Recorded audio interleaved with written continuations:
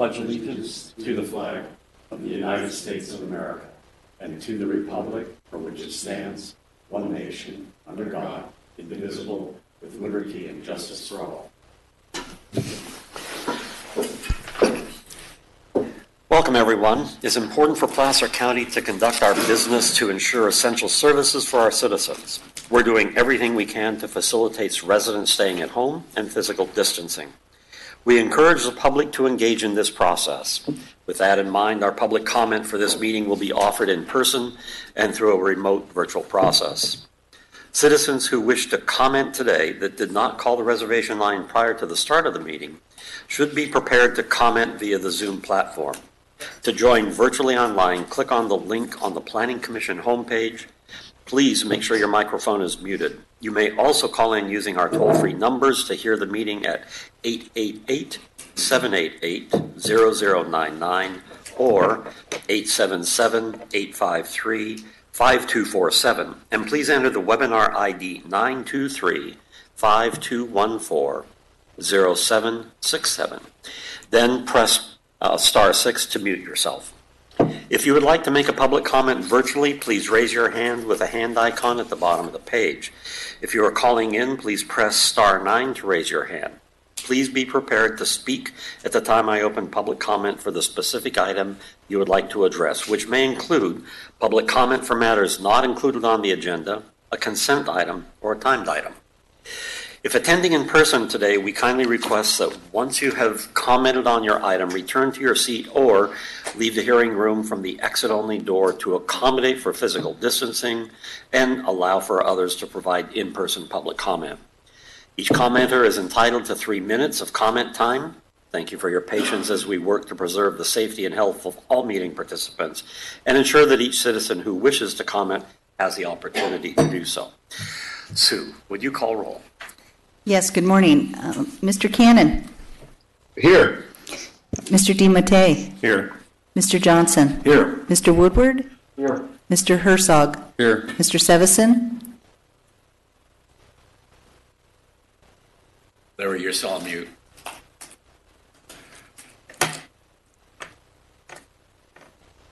Here. thank you, and Mr. Hauge, Here. thank you. All right. Planning Director's report, please. Just leave it. No, you don't.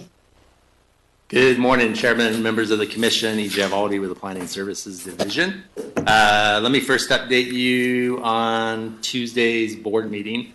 Uh, At that meeting, the board took up the Crowley variance appeal, uh, which your commission recommended uh, denial of.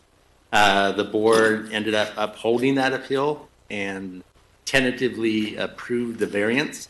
Uh, They were somewhat sympathetic to the uh, structures that were the structure that was built prior to the owners, uh, the new owners being there, and also uh, the confusion with the website and the agricultural building exemption and how, how that's all listed on the county's website.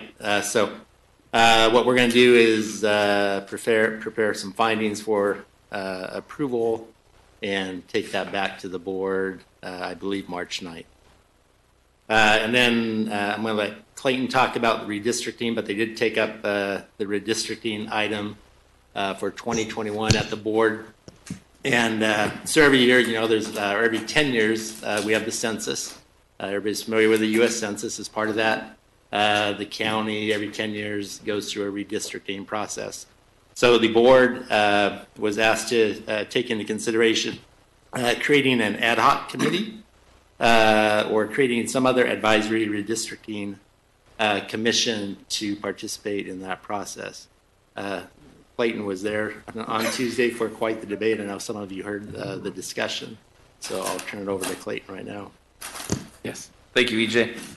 Yes, so the board vote on Tuesday was to name the planning commission as the advisory redistricting commission for the county.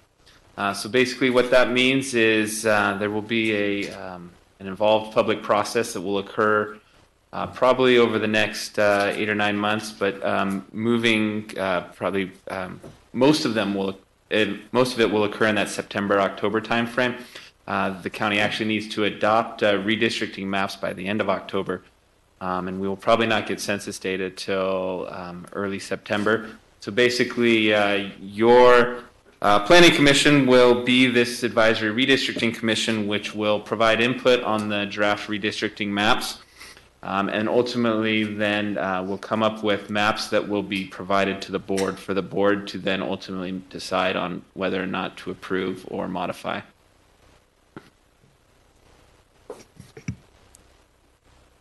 So question at this time, how many meetings are you anticipating?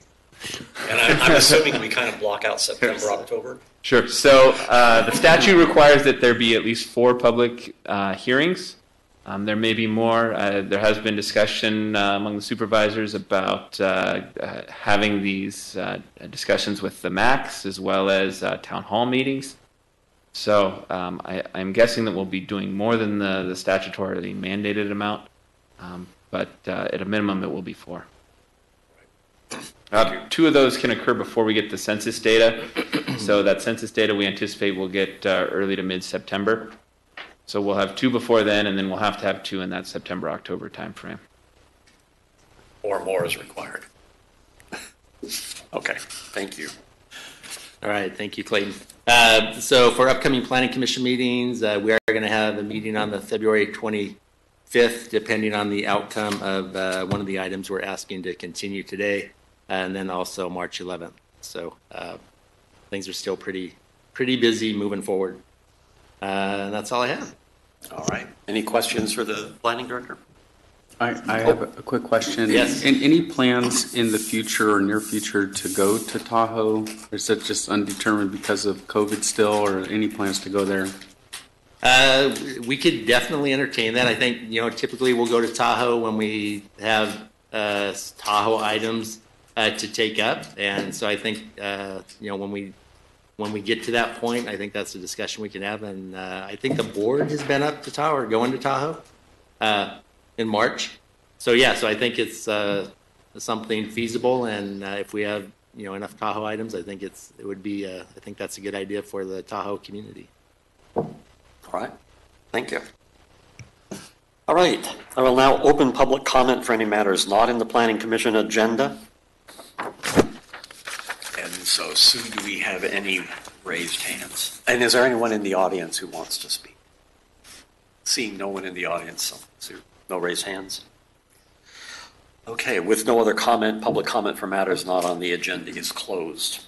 We'll now move on the consent agenda. Would any commissioners like to remove one item from the consent agenda? Mr. Chairman, I, I'd like to move that we approve the consent agenda items. Motion. Uh, Before we approve, uh, We have- we should have uh, commissioners uh, determine whether or not they want to remove an item, then allow the public to remove an item. Um, And then assuming none of them want to, then we can So you're approve. moving fast, but are there any commissioners who want to remove one of the items? No. Seeing none. Next, is there anyone from the public who would like to remove a consent item? And I don't see anyone in the audience. Uh, Sue, do we have anyone? No. Okay. So at this time, I'd like to move that we approve the consent agenda items. do we have a Okay, we have a first and a second. Sue, roll call. I have a first by Mr. Herzog, a second by Mr. Sevison, so a vote for Mr. Cannon, please. Yes. Mr. DiMattei? Yes. Do. Mr. Johnson? No. Yes. Mr. Woodward? Yeah. Mr. Herzog? Yes. Mr. Sevison? Yes. Mr. Hauge? Yes. Thank you. All right. We are moving on to our first timed item, the Resort Triangle Transportation Plan, RTTP. This is an informational item only. Members of the public may now raise their hands or press star nine if you're calling in to begin queuing in for public comment on the item, which will not begin until the item presentation is complete. Stephanie Hollow, oh, no, Stephanie's not, okay. We're tag teaming today. Okay. Okay, Crystal and Stephanie will tag team today. Thank you. So if you'd present the item. Thank thank you, Mr. Chairman, and good morning, members of the commission. I'm Crystal Jacobson, the Deputy Director for our Tahoe CDRA office, and with me today is Stephanie Holloway from the county's Department of Public Works office. The item we are presenting to you today is the Resort Triangle Transportation Plan, otherwise known as the RTTP. Um, Stephanie's been leading this effort, um, and we have been coordinating with her on that. Um, And as she will note in her presentation, it was adopted back in October by our board. Um, so just to kind of um, discuss the purpose of why we're here today. A few months back, we were asked if we can share this presentation uh, to your commission so that you can kind of understand some of the initiatives around transportation and mobility that are underway in our Tahoe region. Um, the Resort Triangle Transportation Plan is just one of those initiatives, um, but it is an important one, and it includes multiple components that are aimed at addressing traffic congestion and reducing vehicle miles traveled, otherwise known as VMT. So if you hear us speak to VMT, that's what that terminology is. Um, so it's really aimed at, again, addressing traffic congestion and uh, reducing VMT in our Tahoe area. So our goal today is to inform your commission on this effort and then provide uh, for you some important context uh, for you in your decision making on projects in the Tahoe region. So that would be um, anywhere in the North Tahoe area of Placer County. Uh, so with that, I'm going to go ahead and turn it over to Stephanie to walk through the presentation, and then um, I'll, I'll circle back and wrap it up at the end. Thank you. Good morning. Good morning. Thank you, Crystal. Again, Stephanie Holloway with the Department of Public Works. Uh, I'm a senior engineer in charge of our transportation planning uh, and traffic engineering group. So I have a presentation that take me about 20 minutes, and, and uh, I'll be available afterwards for any questions that you have. Um, so I'm pleased and excited to present this plan. We've been working on it for about a year and a half now. Um, and as Crystal mentioned, it was approved by our board back in October of last year. So before I get into the details of the plan, uh, I just wanted to lay the foundation for the need and, and kind of where this came from. So just to kind of high level mention, you know, transportation in our state, uh, in our nation, is really in a in a process of transition at this time. Um, as transportation practitioners, we're being asked to to um, adjust um, and and shift our methods and tools for really trying to connect people uh, from destinations and, and areas of everyday need. Um, our Tahoe region, as many of you know, experiences times of extreme congestion and visitation uh, and long travel delays. And so we've been for, um, ever since I've been the, with the county, talking about the need to shift away from uh, the use of the private vehicle and, and, sort of vehicle dependency in this region. Um, but we recognize with this plan and, and, through other efforts that that really doesn't happen naturally. Uh, it doesn't happen without some uh, strategies to try to, you know, shift our our um, our modes of travel to um, other modes of travel. Um, and so, really, the plan is is trying to kind of get at that desire to create behavioral change um, into alternative modes. So I will say that you know the RTTP is designed to create action in this area, and our hope is that it also influences our congested times by creating less uh, less dependency on that vehicle usage. So just to backtrack uh, a little bit, I wanted to mention that you know this effort really arose out of our uh, planning efforts with the Tahoe Basin Area Plan, which Crystal and I were both heavily involved in, and back in 2017 as well as our transit plan, our TART systems plan for the region, which was adopted in 2016. Um, so this plan uh, really is kind of intended to build off of that and seed some of those initiatives that we talked about in the land use plan and the transit plan, bringing it kind of full circle and also bringing it into alignment with the TRPA's transportation plan and their transportation, uh, their, their larger regional plan. Two other efforts I'll mention um, in this context is our board did approve uh, a document for, called the North Tahoe Transportation Demand Management Strategies. That was a kind of followed our area plan. It was a request of uh, community members to really take a deeper dive into what those alternative um, alternative strategies could be for our region.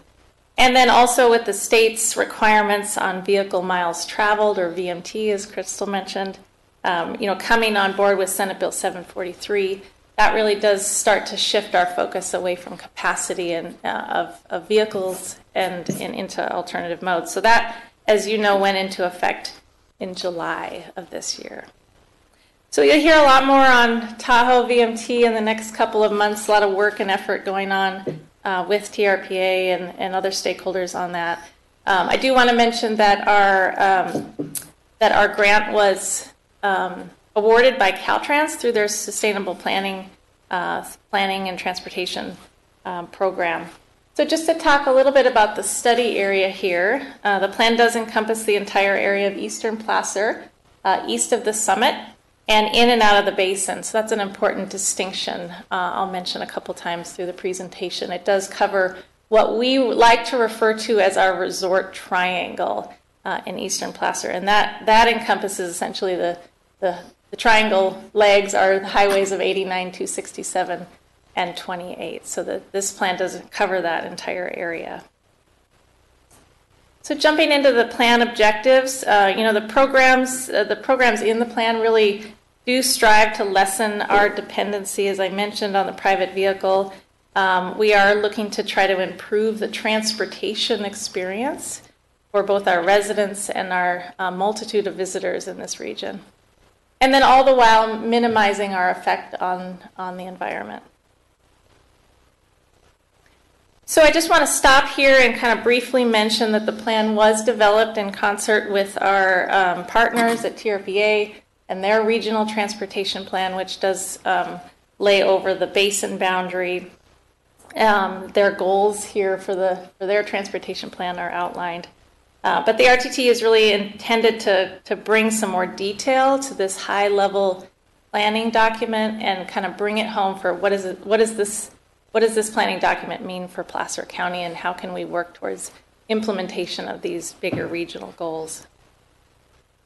I will also uh, say that the this the RTTP tends uh, strives to really bridge a divide that we recognized in the in the planning process of the of the area plan, uh, and, and, what we struggle with in this region is is really the the jurisdictional divide in uh, in uh, the planning regions of TRPA and SACOG. So going back to the map quickly, uh, you can see the basin boundary there. That is TRPA's jurisdiction. Outside the basin, that is actually SACOG's jurisdiction, or, or PCTPA as our regional, um, our transportation planning uh, agency. So, um, so this plan is really kind of striving to overlay those two districts and bring continuity and connectivity between uh, those two regions. So getting into the key focus areas, as I mentioned, we're really kind of taking that regional plan and, and digesting it, trying to make it applicable to Placer County, um, and then also apply, apply those uh, kind of bigger transportation strategies outside of the basin. Um, so I, I, will mention that um, you know the first focus area that I'll talk about in detail is this adaptive corridor management idea. Um, you know this is really a, a term that we um, adopted from TRPA, and it, it, I think to boil it down, it really kind of addresses our feeder corridors in and out of the region, Highway 89, 267. Uh, these are going to be our long distance trips, and a lot of times where we tend to focus on travel congestion uh, on peak snow days or hot summer days, we tend to get a lot of um, influx into the region. So really, uh, the key emphasis on, on this strategy is promoting transit and um, looking for strategies to get people on the bus. We do have a fairly robust plan for, for transit, um, but we tend to find that our transit usage isn't increasing as much as we would like it to. So strategies to kind of, you know, uh, again, get people on the bus. Parking management is another focus area I'll talk about, and really, I think just to kind of summarize it, it, it parking management is seen as sort of a tool to help us manage the attractiveness of using that vehicle. How easy, how easy is it to bring that vehicle into the region if you choose to do so? Uh, transportation demand management, as I mentioned, is really focused on those alternative choices to the vehicle. Um, we'll talk about transit shuttles, but also some measures to try to um, try to address our just our our trip usage by the vehicle and, and bringing that percentage down. And then lastly, I'll, I will not go too much into detail, just kind of by reference, and to tell you that there's a huge effort going on on VMT. Um, but it does, uh, you know, we feel like the strategies and the programs in this plan do um, address VMT in the sense that um, these are our measures, these are going to be our mitigation for future visitation into the region um, on the issue of, of VMT. So just to quickly talk about the stakeholder engagement, um, we did convene two separate groups one, a, te- a really technical, uh, our technical partners to help us draft the strategies and get into the weeds on the, the traffic data and, and strategies. Uh, the other was really kind of to get out into the community to provide that local community voice to make sure uh, they were informing um, the final plan as well. And so we did a, a lot of research. You can see here this this isn't a comprehensive list, but just wanted to kind of highlight um, the collaboration um, that this plan did undertake. So, talking about adaptive corridor management in a little more detail, um, like I said, this this was a term that came up through the area plan. TRPA was really pushing us to be to think outside the box, uh, and again, you know, outside of our re- out, of, out of their region, kind of challenging us to to do better on the corridors. Um, so again, boils down to really utilizing our current infrastructure um, in a more effective way. And, and many, many options were talked about. We talked about bus on shoulder, we talked about um, different kinds of treatments here, but, but this one really kind of rose to the top, uh, was embraced by many. Uh, the center running bus only uh, travel lane on Highway 89 and 267.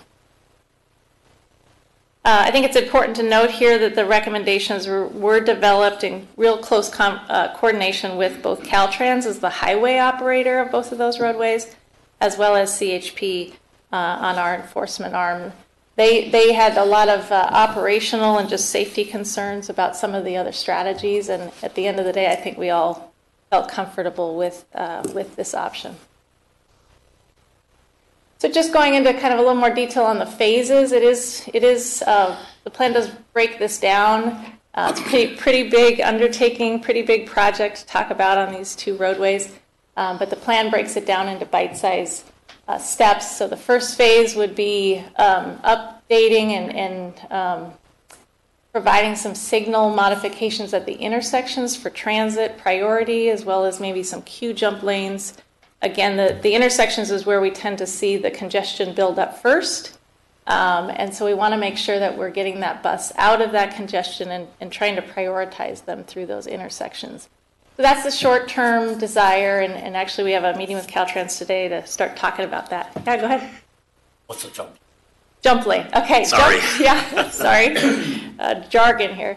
Yeah. So a jump lane is essentially a, a, designated lane or a priority lane that's outside of the general uh, vehicle lane along, you know, kind of on, si- on the side. You see this a lot in urban areas where the bus has like a, there's like a bus only designated lane at the signal. They approach, they get detected, the signal will phase for them and they, and they get through. So no matter where the signal is at in its cycle, uh, they immediately get the kind of the the indication and they get prioritized through. So, Thank you. yeah. Um, so phase two builds on the intersection improvements, but it, in phase two we start to connect, as you see, we start to connect uh, the, the priorities and the, and the jump lanes uh, with the center running bus only lane between the intersections.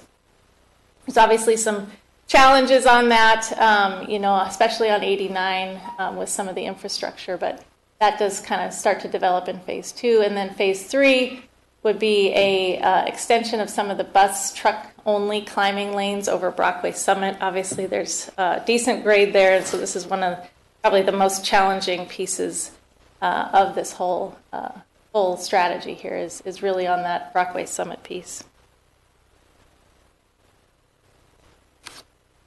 So just to jump into parking. Um, the second element of our focus area is really parking management in the town centers of Kings Beach and Tahoe City.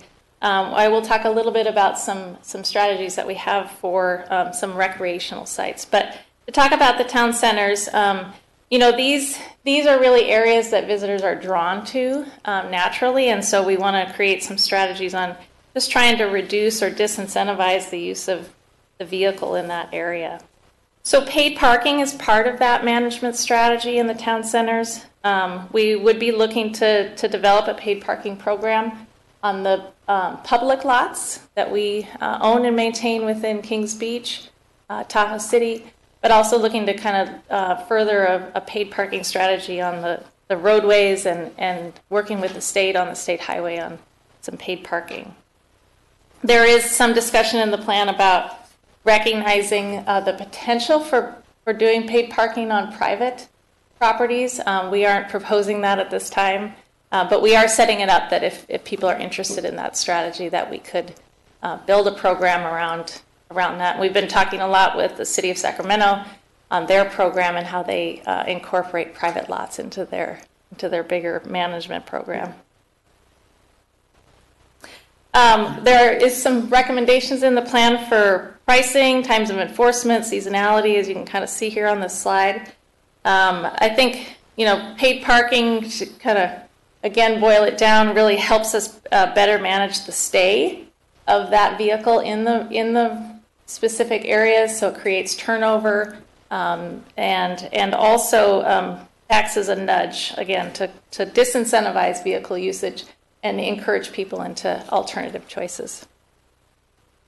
Uh, lastly, on parking, I'll, just mention that you know there is a potential that is a generate a revenue generator for us as well.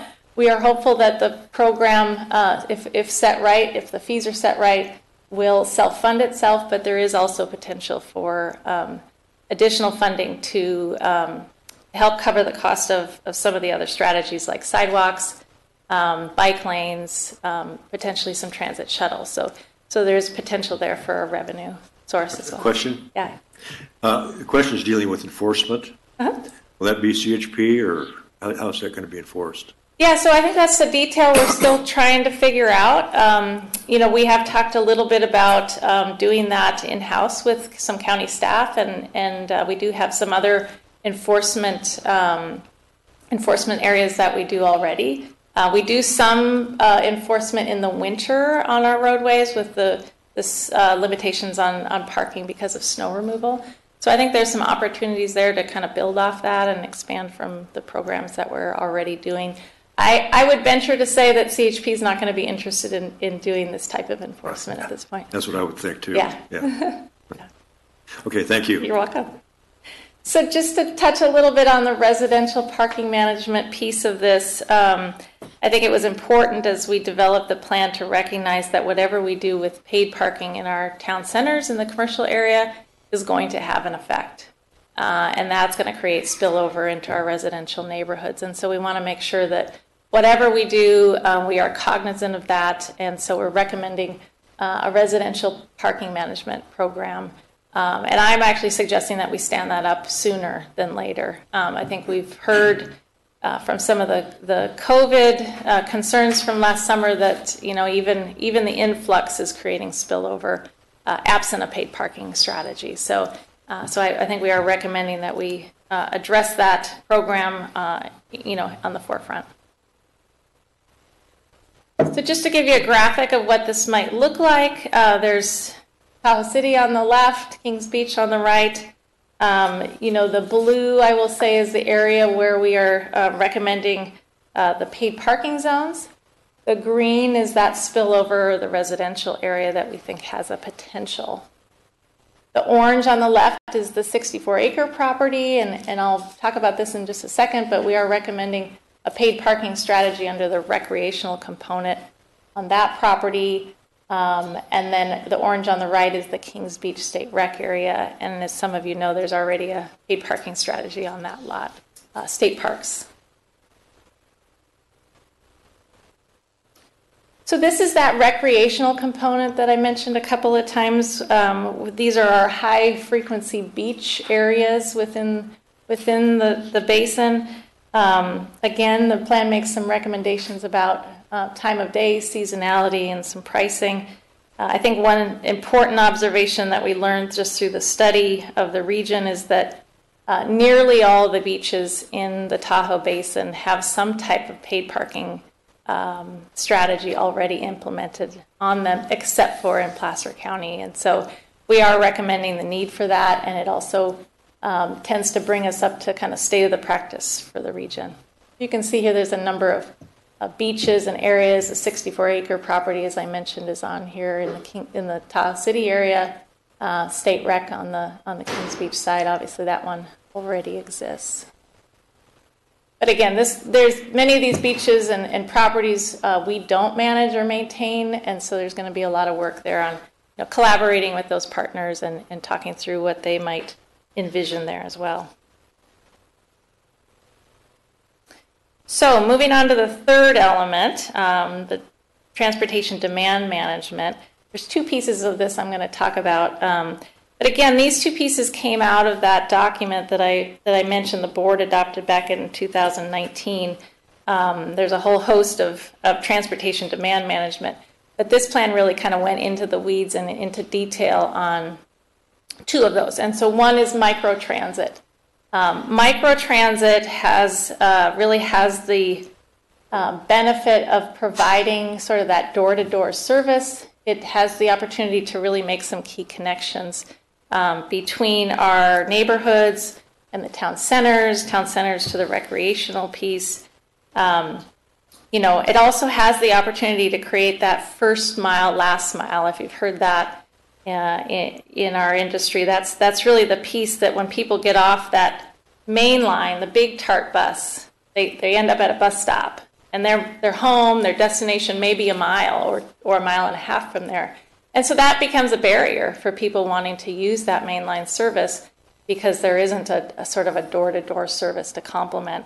So the microtransit has the ability to, to serve that need. Um, it would be on demand. So if you're familiar with the Mountaineer program in Squaw Valley um, or Uber Lyft type service, um, you call it up on your app. Uh, there's very short response times. And then our desire is to potentially uh, coordinate it with our TART system, which is currently in a fare free pilot. So during the outreach, we did poll the community to get a sense of, you know, where is the higher need? Which area of the four areas that we've recommended for uh, microtransit uh, really shows shows desire and shows need? And you can see from this chart, um, it was a dead tie.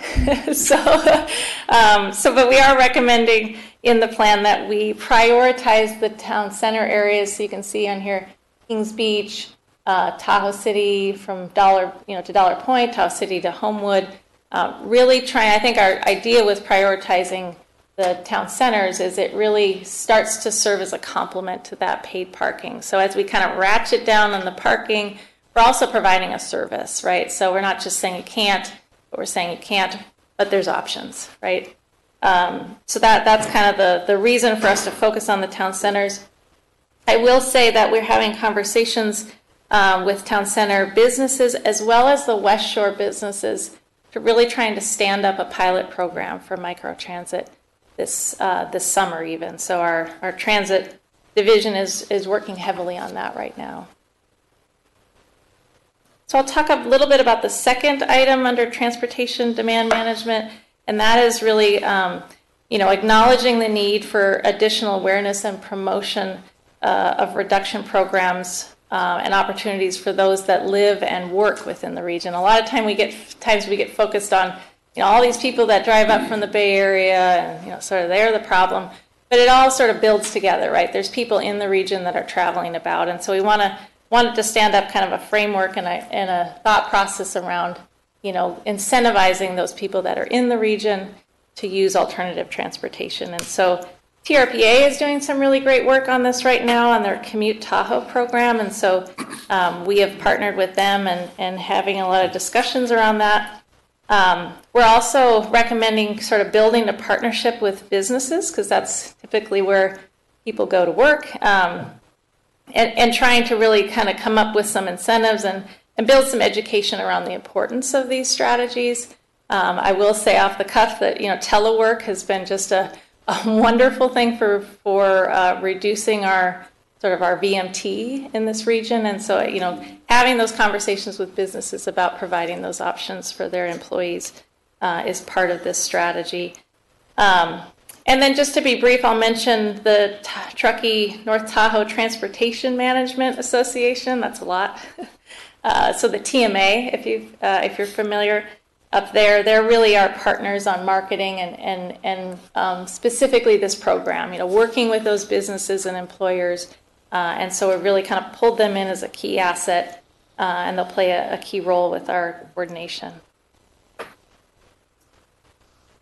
So, just to talk a little bit about some additional polling we did around uh, this strategy, um, you know, really kind of um, finding people that live and work in the region, we found that there was a general support um, for use of alternative transportation when it was first provided, uh, and secondly, maintained. And the maintained piece of it is, is really important here. Um, but I think from, from the results here, I mean, this is a pretty, I would say this is a pretty robust mode share uh, example of, of people that kind of work, live and work in this region. Um, they do appreciate those alternative choices uh, to the vehicle and they're using them. So, kind of that build it and they will come philosophy, I think, is very strong and helps uh, encourage us that uh, moving in this direction is the right path. So bringing it back full circle to the, the regional transportation plan. This is a this is a modified slide out of TRPA's regional transportation plan. And so if we look at what we're doing in the uh, resort triangle transportation plan and kind of marry that up and match it up to the, the larger transportation plan, um, we can kind of look at what we're doing in their three buckets. So their three buckets are visit Tahoe, so people that come and go from the region discover Tahoe. Once you're there, where are you going? And then everyday Tahoe, and that's the people that live and work within the region. Um, so you can kind of see here uh, the strategies I've laid out and how they fit into that bigger strategy to really address all of our travelers, all of our visitors within the region, um, potentially with different strategies. So I will say, although our community is excited and ready for these programs, there is a lot of work that was outlined in this in this program. Uh, and so we're really going through kind of the the implementation strategy, developing a business plan, trying to figure out where the resources and the needs are for each one of those steps. And so, um, like I said, our board did approve this. We're wrapping up the grant. Um, we're working on an implementation plan, um, and that is happening uh, as we speak. So. So then moving forward, uh, this is just kind of a series of next steps from the implementation plan. Again, looking to kind of phase it, starting with some focused implementation. You'll, you'll probably hear us talk about some pilots, and I mentioned the microtransit pilot, but also I think that residential parking program is really on the forefront of our minds. Um, and then expanding that as resources come available. And um, Many of these will work in tandem. Like I said, the, the parking and the shuttle programs, those will probably work in tandem and, and are important to work in tandem because they feed off of each other. Um, so last but certainly not least, you know, continued coordination with TRPA and TTD and PCTPA and SACOG and TMA, all the acronyms, right? We're continuing to really be engaged and, and continuing to, to further this bigger idea and, and additionally some bigger funding strategies as well. So, um, so what does that mean for your commission? Uh, I wanted to boil it down for you guys and just to kind of say first, uh, I think it's important that you know that transportation is evolving uh, and evolving from a number of fronts, specifically in the Tahoe area. Um, you know, our focus on solving congestion no longer predominantly is tied to building more infrastructure, but really being more efficient and finding alternative modes, uh, and then nudging people into those modes, right? Um, you'll you will hear us talk about VMT mitigation. Uh, you won't talk, hear us talk about LOS mitigation unless it's under the context of the general plan and, and consistency in those policies. But as we talk about CEQA, VMT is going to be kind of our language of choice. Um, I will say that DPW is also working on an update to our Tahoe transportation fees, or our, traffic fees, as you've heard me talk about them historically. Uh, those have been really focused on level of service strategies, so building more roads, building bigger intersections, more signals. Um, that program is really um, best used as a tool for mitigation for projects, and so we want to we want to evolve, right? We want that mitigation program to evolve from a, a LOS-based program to a VMT-based program, and so that's kind of a parallel effort that my team's working on uh, in Tahoe specifically, but then you know we'll, we'll, capture a lot of the other programs throughout the county. Um, really, I think that helps serve as a benefit for development as they move forward to be able to pay a fair share into these re, really regional strategies that help us move the needle on, on VMT and, and uh, vehicle usage. So I'll just close by saying, you know, tr- between transit service and expansion, park and ride lots, all of the RTTP strategies that we've laid out, and, and many other strategies, um, you know, we're really um, hoping to kind of, you know, bring all these elements together, and, and we think that that will help move us through this time of transition and transportation. So I'm going to hand it back to Crystal. She's going to close out, and then I'm available for any questions that you might have. Thank you, Stephanie. You're welcome. Thank you, Stephanie. Um, so really, as Stephanie noted, you know, the, the purpose really is what does that mean for your commission? What does it mean for land development in the Tahoe region? As she mentioned, we are moving away from level of service um, and, and moving towards VMT um, as we analyze the projects as planners and uh, our development team uh, here in CDRA are analyzing um, projects under CEQA. Um, as Stephanie mentioned, we are, her team's working on a transportation fee update for Tahoe uh, that will identify capital projects that uh, would offset um, uh, or mitigate VMT impacts in addition to level of service impacts. Um, the RTTP could, um, parts of the RTTP or components of it could be included in that in terms of the capital pieces, like for corridor, um, corridor improvements, for example. Um, but it's important to note that the fee update really is only one, we see that as only one mitigation path for projects that come before your commission. Um, and the RTTP is really one effort underway that will essentially stand up or could stand up as mitigation for, for projects. There are other mobility and active transportation efforts underway. There are a lot of them, um, not just the RTTP, uh, that are, are, really more service oriented. So they are providing for micro shuttles, for example, or expanded and enhanced transit, um, uh, bike share programs, those kinds of things uh, that could also mitigate, um, provide a mitigation path for VMT. So there's a concerted effort in North Lake Tahoe to focus on regional solutions uh, to address address VMT and address congestion in the Tahoe area. And those solutions are essentially uh, to mitigate, I would say, the region's re- region's impact. Understanding that that impact, uh, a lot of folks under, under or think that that impact is largely related to our tourist-based economy. Um, and the visitorship that we experience as a result of that in Tahoe. Um, so what we are doing now is to frame up, we're looking at framing up a regional approach or mitigation strategy rather than having projects mitigate on a case-by-case basis, um, project by project. So essentially the county and our partners are uh, kind of looking to, we're, we're really pushing to look at the bigger picture in terms of the overall sort of traffic and congestion and mobility issues that we hear about, we are experiencing in Tahoe. Um, and identifying a, a, cohesive approach to kind of better serve the Tahoe region. Um, so as projects come forward before your commission, you often hear, I know for the for the commissioners that have been here a while, you hear about the issues around traffic. Um, so we're currently exploring the development of a VMT mitigation program uh, for the North Lake Tahoe area, and I say we, that's the county. We're talking about that. That would essentially provide another mitigation path. So in addition to that fee program, we're looking at developing a mitigation program uh, that would um, that would That would uh, create another mitigation path for projects that are coming before your commission. So with that, we hope that this presentation uh, helped to provide uh, some context in terms of uh, the work that is underway in the Tahoe area to address transportation, uh, VMT, traffic congestion. Um, and we hope it also helped to inform you as you consider future land use development projects. And we'd be happy to answer any questions if you have them. Thank you, Crystal. Questions? I think Rick, Rick has Yeah. questions.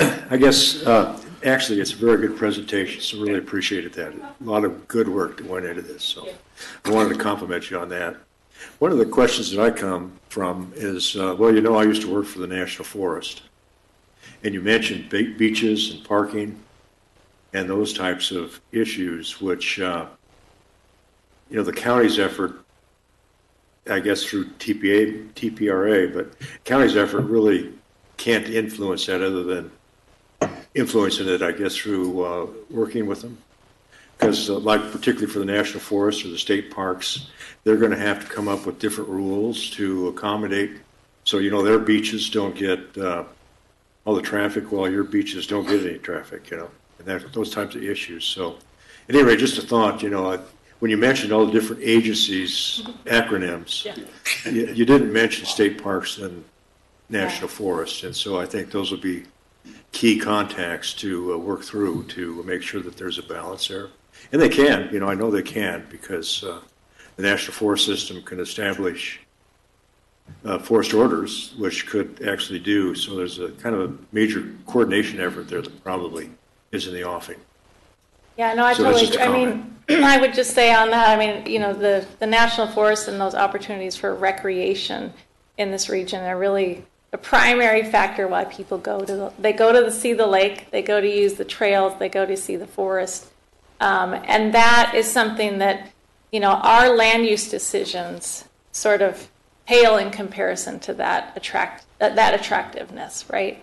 Um, and so that, as Crystal mentioned, we're trying to, you know, kind of think of the big picture, make sure all of those other stakeholders, uh, and that, you know, I kind of think about it as a big machine. You know, we're we're part of that big machine, but there, it's it's a bigger issue than just us. And so coordinating and kind of having this conversation with TRPA, it's even bigger than TRPA.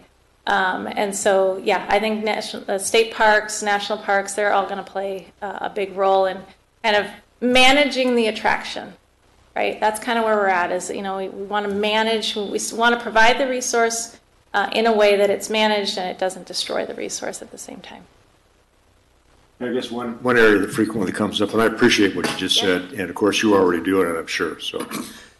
But at any rate, like, uh, one example that I can think of that often comes up is rafting, which the county manages. But the National Forest has got a parking lot there where people just come up and use the parking lot and go rafting. And oftentimes, you know, the county's, uh, rafting people have to do the cleanup and manage that too. So that's maybe one example of a conflict that you have that Yeah, could be dealt with. I don't know if you want to Okay, go so I appreciate what you're saying. I know you're already working on that, so Yeah, thank you very absolutely. much. Yeah. Thank you. Other questions or comments from the commission? I have a question about the jump lanes with your bus. Um, Where does that jump over? At the signal? The signal. Like they get to go before everybody else in the middle, so it's not going to cross over lanes or anything like that, correct? Um, well, it depends on where the bus is going. Um, like at Squaw Valley Road, the bus does, you know, travel up and down 89. It turns and goes up Squaw Valley Road. So uh, where it does turn and go up one of our local roads, um, the, the signal would hold in all red, and the bus would get the priority Priority, through that. Yep. Now, extending this, is this going to go up to 89 to 267, I heard you say, to go in towards Kings Beach as well? And how would that work and how, who are you expecting to ride these buses? Are you expecting them to get off in Truckee, get on this bus and then take it into Tahoe?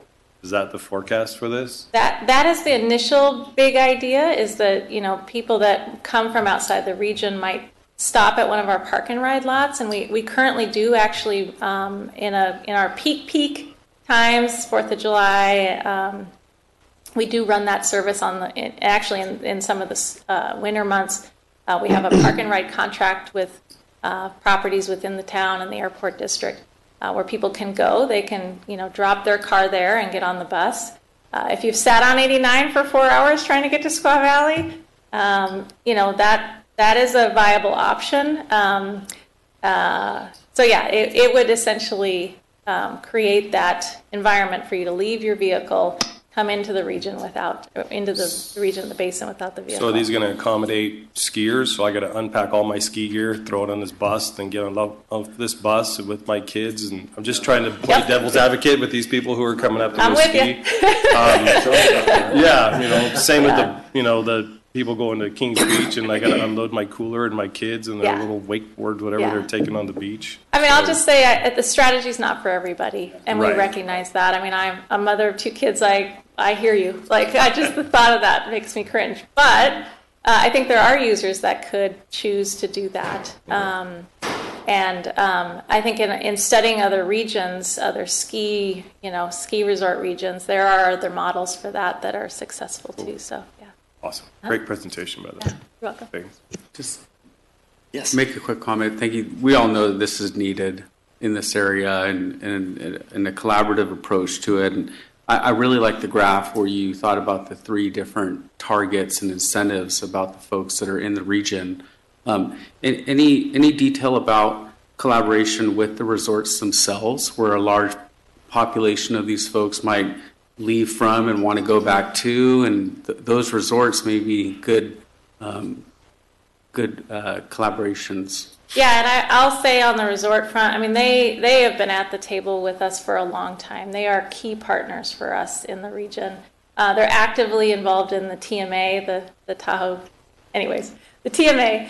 Um, and um, they are, they have been very helpful and, and uh, collaborative on, you know, um, just their own strategies for managing their demand, right? Uh, Northstar uh, already has, uh, you know, stood up sort of this bus service that they do on high frequency weekends. Uh, they partner with us on the park and ride uh, strategies um, during the winter months. So absolutely, they're they're constantly there at the table with us, and and we're um, you know kind of leveraging them as as some of our key partners. Other comments? Well, thank you. You're Uh, welcome. I know I've been looking at this since 1975, so it's good to see progress being made. Thank you. Um, I'd like to open up to public comments at this point in time. Uh, Do we have anyone in the audience? And then Sue, do we have any raised hands? Oh, so we'll close the public comment period. Um, Any final comments from the commission? All right. The next timed item is a Verizon Tahoe Vista Cellular Facility Conditional Use Permit.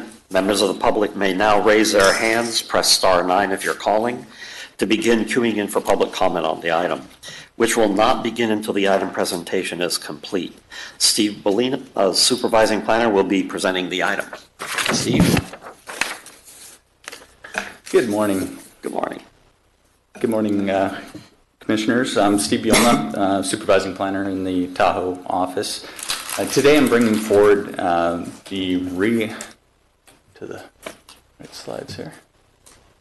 The reapplication of a permit that your Planning Commission approved in April of 20, uh, 2018. The permit itself would have qualified for an extension of time. However, this request was not made of the county prior to the uh, expiration date. And um, as a result, um, I'm bringing forward uh, an application for um, your consideration today for a conditional use permit that would allow for the installation of a 75-foot tall monopine uh, cellular facility near the maintenance building at the Old Brockway Golf Course, which is located in the Tahoe Vista area. As I'm sure you're all aware, as technology has changed over the years, residents and first responders have become more and more reliant on cellular communication for daily activities and as well as for emergencies.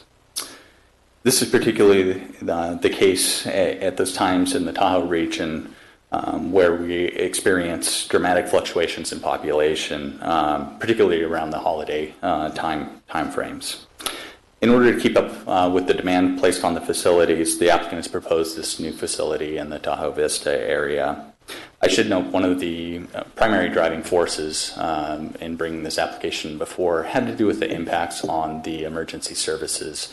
Uh, a lot of their mobile um, uh, computer technology was heavily impacted during these time periods, which, as you can imagine, uh, created an, an issue for our first responders. So this is what had prompted the request in uh, 2018 and is still the case today. I should note that the project that your commission approved in uh, 2018 and what I'm bringing forward uh, to you today is uh, exactly the same. There are no changes whatsoever to the to the project itself. Give you an idea of where this project is located, um, going straight uh, here's a vicinity map just to give you an idea of the area. Um, the project site is all outlined in red. Um, you can see right there, um, we've got an arrow uh, which indicates uh, where this cellular um, monopine is, is to be located. Uh, just for reference, um, this is State Route 267, um, and here's State Route uh, 28. Um, the uh, access to the property is actually right here off of Beach Street. And as you go through the residential area, um, the paved section will actually terminate and uh, it goes to an unimproved section just before you get to the maintenance building. Just to the west of, of this roadway is where um, the proposed lease area, which is um, 30 foot by 30 foot, is, is to be located. And again, uh, the maintenance building is for the old Brockway Golf Course, which the area outlined in red um, encompasses a significant portion of the, the golf course area itself. So uh, this particular uh, parcel or, or lot is uh, 51.36 acres in size, and as I mentioned, uh, encompasses um, a significant portion of the golf course area. Um, as you can see from this slide, there are two zone di- districts uh, present on this parcel. The significant portion of it is uh, contained within the residential zone district. However, um, where the lease area is sited is actually in the recreational zone district. Key distinction there is cellular facilities in the recreational zone district do require uh, conditional use permit, and um, that's uh, the reason for bringing this forward to your commission today. Is a little bit better picture, which will help to highlight uh, where the golf course area is located. As you can see, there's a mixture of pines and firs throughout the um, the site, as well as the um, golf course property as well. Um, as I mentioned, um, access to the property goes through residential area. Um, I will note that the closest residence to this facility is 150 feet um, to the south of the proposed installation. Um, here's a site plan which helps to illustrate um, where the lease area is located. In the lower left-hand corner here is Beach Street. And then, as I mentioned, as you continue on up here uh, towards the top of the slide, is the uh, maintenance um, building for the, the golf course. Um, as I mentioned, uh, the dimensions of this uh, enclosure is 30 foot by 30 foot. Um, around the perimeter, the applicant proposes a 10 foot tall fence. The lower two feet will be a, a concrete block with um, eight foot boards um, installed on the top. Inside, inside this, um, this lease area will be a 75 foot tall uh, monopine uh, which will measure 80 feet tall uh, once the uh, foliage is, is installed on the, on the cell tower. Just to the north of the monopine, um, there's a proposal for a 45 kilowatt um, diesel generator as well as a 210 gallon uh, fuel tank.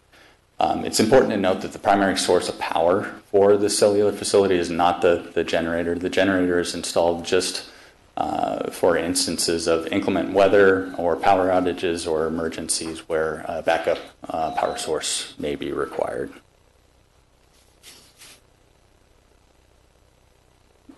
Here's some elevations of the proposed uh, facility. Um, the monopine itself is intended to accommodate antennas consisting of 15 RRHS units, three Raycap surge suppressors, six Verizon wireless antennas, and two hybrid, uh, hybrid cables. This particular area of the county um, requires that design site review approval uh, be conducted for um, this particular installation. Um, this project's had the benefit of going before the design design review committee, which is a citizens group that offers guidance to county staff and provides a recommendation uh, on projects such as this. Um, I will note that uh, the design review committee spent a significant amount of time um, discussing um, things which you'll actually see in a, a subsequent slide here, um, which had to do with probably the most visible aspect of, of this installation, which was the, the fence. Um, they provided um, some recommendations on ways to have the colors and, and staining so that it would blend into the environment as, as much as possible. At that same meeting, um, they also spent um, quite a bit of time uh, discussing the uh, foliage that would be um, ultimately selected for this installation so that it would match the trees that are in that area as closely as possible.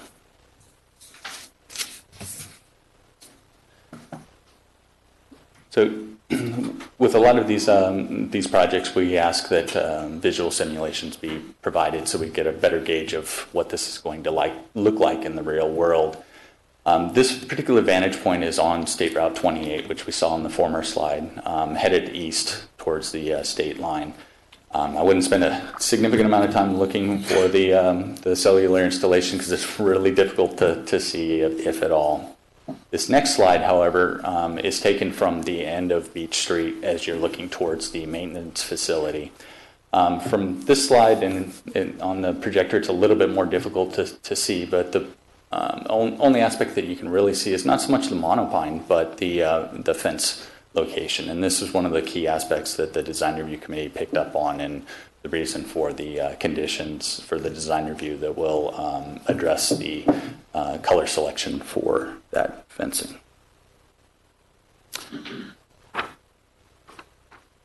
In reviewing this project, um, county staff looked at a number of different um, uh, topics um, for review. One was the Tahoe Basin Area Plan and zoning consistency. As I mentioned, uh, in the recreational zone district, um, this does require a conditional use permit. Um, Staff took a look at the findings required for that and uh, was uh, comfortable with a favorable recommendation.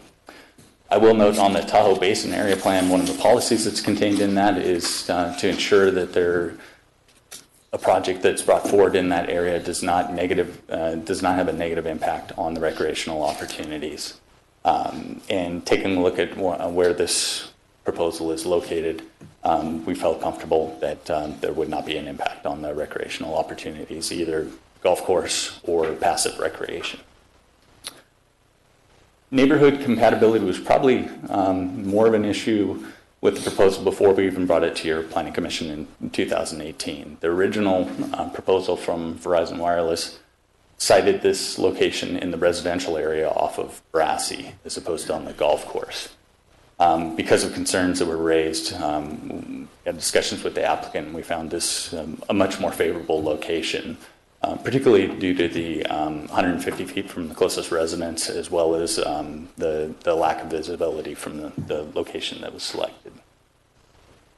Um, tree removal was another uh, element that we uh, took a look at. There is one 36 inch pine that is proposed to be removed as part of this installation. Um, as with many projects in this area, that will be requ- required to go through the Tahoe Regional Planning Agency for approval.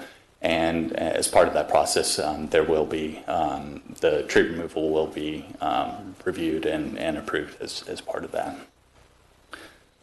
Um, we did take a look at noise. Um, as I mentioned, the uh, the generator that's proposed is really only the only time it will be operated is for routine maintenance, which occurs every few weeks for probably a maximum of 15 minutes, or in the event of an emergency where there's a massive power outage.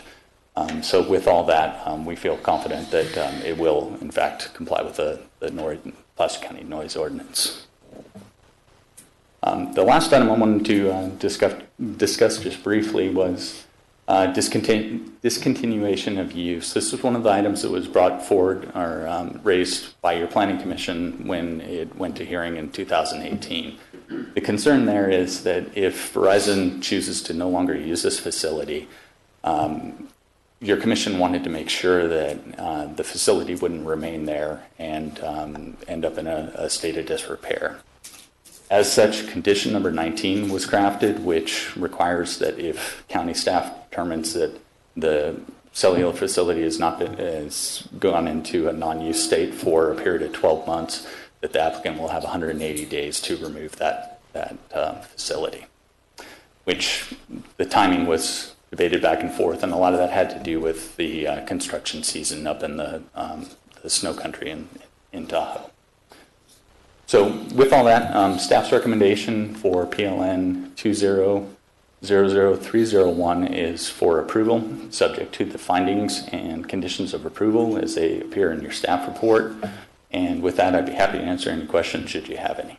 All right, thank you, Steve. Any questions of the commission? Did you say yes? Yeah. Okay, Rick Hassel. Okay. Thank you. Let me see, I think I heard you mention, yeah, excuse me. Yeah. Sorry. Can't let you escape yet. In a minute, in a minute, at least as far as I'm concerned. Let me see, I think I heard you mention that it's adjacent to a maintenance building? Correct. Okay. Yes. And I can go ro- right back to that slide real quick here. So on the site plan here, um, again, through the, re- the residential area would be located down here. This is Beach Street that comes in.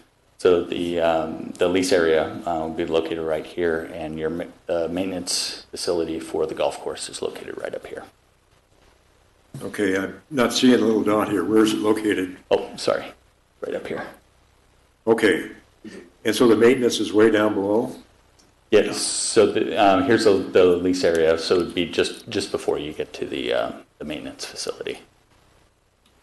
Oh, so there's a building already next to it? There is, there's no building there um, yet, but there'll be a, a fenced area um, there, but um, just probably 100 yards or so uh, to the north is the maintenance facility for the golf course that, Okay. that's currently there. Okay, I was looking at a map here that showed the dot actually being on a building, so I was Oh, wondering if, what it was. So is this the same location that we heard before? Yes. Okay. And then another question, I guess this might be a little abstract, but when you're talking about emergency services, if inside the basin, of course, they, you know, zero in on the Verizon, but uh, for out-of-basin fire folks that come to this area, of course, there's a larger system that actually has a contact with AT&T. So a lot of the out, out of area emergency service providers are going to be using the AT&T or want to use the AT&T system. And so I guess it's not a requirement, but I guess I understand that when they build these towers, there's room on the towers for other providers to uh, provide, I mean, get access to it. Is that true? Typically, that that is the case, and what would happen is if, say, another um, facility wanted to locate their antennas on on this, uh, it would come in through a building permit, and then county staff would determine whether or not there is additional permitting uh, requirement um, necessary to to bring it forward to your commission or approve it through an, another means with a co-location.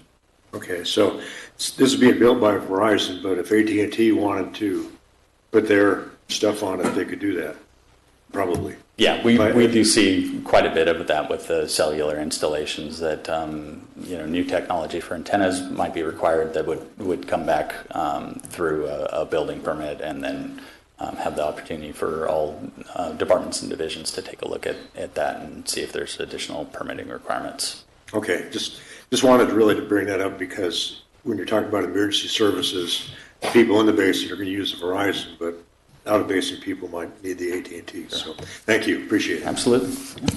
Nathan? Yeah, thank you.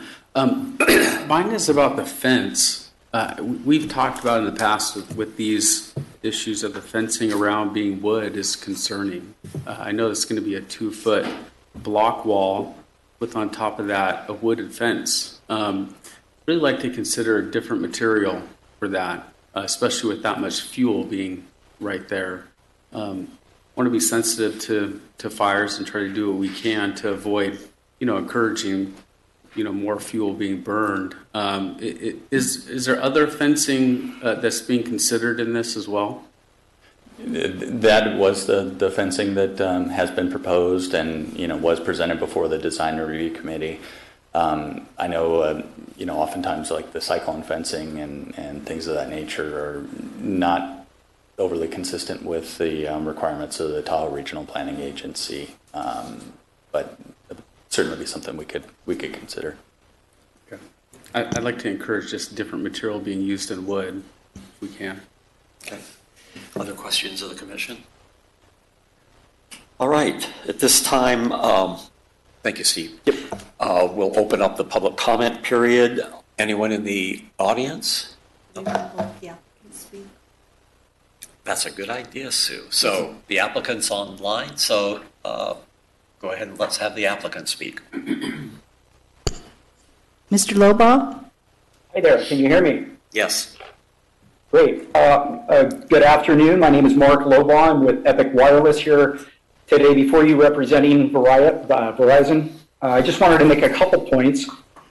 Uh, This, this tower is designed already to accommodate a second carrier, and it's depicted on our elevations. Uh, You'll notice a second center line, the antenna center line is already depicted. So yes, if AT&T or any other carrier came along, we could certainly accommodate them. Thank you. Uh, I also wanted to point out the fact that TRPA uh, has already reviewed and approved uh, our application, and uh, they they did a quite a thorough review. And so, just making you aware of that, if you weren't already aware. Um, Then I just wanted to make myself available for any further comments or questions that you might have. Does the commission have questions for the applicant? Uh, Seeing none, thank you very much for uh, your information. Thank you. So now we'll open uh, to public comment. Sue, do we have any raised hands?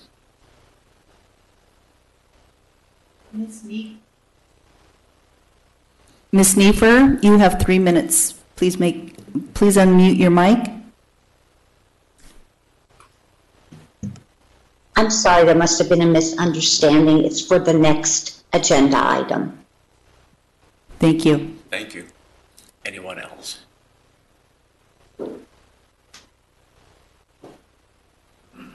No. All right.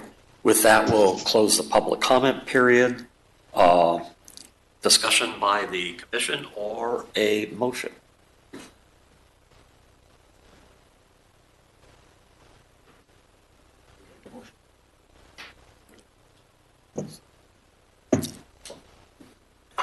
Okay, I'll make a motion that we uh, find that the project is categor- categorically exempt from review under CEQA pursuant to the provisions of section 15303 of the California Environmental Quality Act guidelines and section 18.36.050 of the Placer County Environmental Review Ordinance, Class 3, new construction or conversion of small structures, supported by the finding contained in the staff report. I'll second. Second. Oh, excuse me. Go ahead. We have a first and a second. Roll call, please. The first from Mr. Johnson was the second, Mr. Na- uh, Herzog? Actually, no, the second was Larry. Okay, I heard two. So a second by Mr. Sevison. So a vote from Mr. Cannon, please. Yes. Mr. DiMattei? Yes. Mr. Johnson? Yes? Mr. Woodward? Yes. Mr. Herzog? Yes. Mr. Sevison? Yes. Mr. Hauge? Yes. Thank you. Could you go to the next slide? Thank you. Okay, well, I guess I will carry on again. So uh, I move that we approve a conditional use permit to allow for the construction of a cellular facility. The proposed facility will consist of the installation of a 75-foot tall monopine 80-foot with foliage with attached antennas and a diesel generator, all contained within a 30 by 30-foot lease area surrounded by a 10-foot high fence on a portion of the Brockway Golf Course course, west of the parking area and maintenance building, supported by the findings and recommended conditions of approval contained in the staff report. Second. All right, we have a first and a second. I have a first from Mr. Johnson, a second from Mr. Sevison, so a vote for Mr. Cannon, please. Yes. Mr. DiMattei? Yes. Mr. Johnson? Yes? Mr. Woodward? Yes. Mr. Herzog? Yes. Mr. Sevison? Yes. Mr. Hauge? Yes. Thank you. All right, I believe that's all the motions, so uh, want to just, what's that? Yes, I'm just ready to read that. So uh, the Planning Commission has recommended approval of this uh, permit. If you would like to appeal it, the decision of the Planning Commission may be appealed by anyone who appeared at today's hearing and provided comment or anyone that submitted written comments on this item. An appeal must be filed within 10 days of today's date and shall be accompanied by filing fee of $619. All right, Thank you. All right, the next time, item is the Bickford Ranch Specific Plan, First Amendment to the corrected, amended, and restated development agreement to clarify uh, park CFD obligations. Members of the public may now raise their hands or press star nine if you're calling in to begin queuing in for the public comment on the item, which will not begin until the item presentation is complete. Michelle Kingsbury, Principal Management Analyst for CDRA, will be presenting the item. So, Michelle. So, good morning, Commissioners. Michelle Kingsbury, Analyst with the Community Development Resource Agency.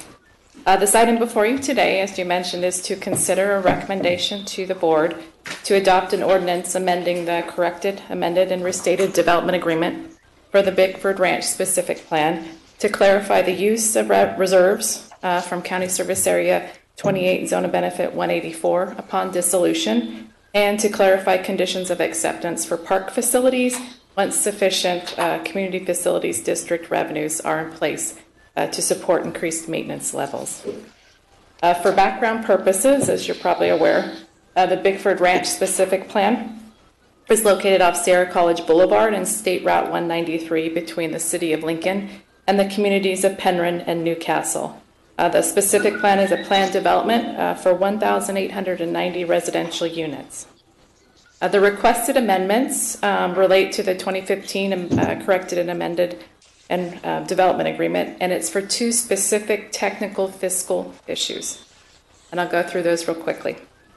Uh, The first item, uh, staff proposes the amendment to section 3.4.2 so that it clarifies and aligns with an existing provision in the development agreement, section 4.7.1, which discusses and clears up that once our parks zone of benefit is dissolved and a new community facilities district for parks is established, any funds remaining in the zone benefit account would be transferred to the newly established Parks Community Facilities District. This modification uh, simply um, serves to extinguish any potential um, interpretation inconsistencies in the development agreement. Um, there's currently between those two sections an inconsistency, and this amendment just aligns both of those sections in the development agreement. As I mentioned, it's a very technical um, amendment to the, that section.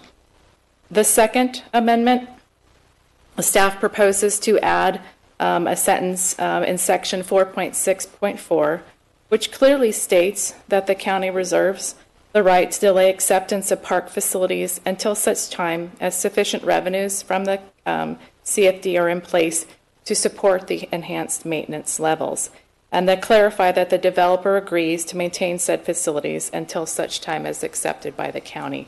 Um, those are the two specific sections of the um, development agreement that we propose for amendment.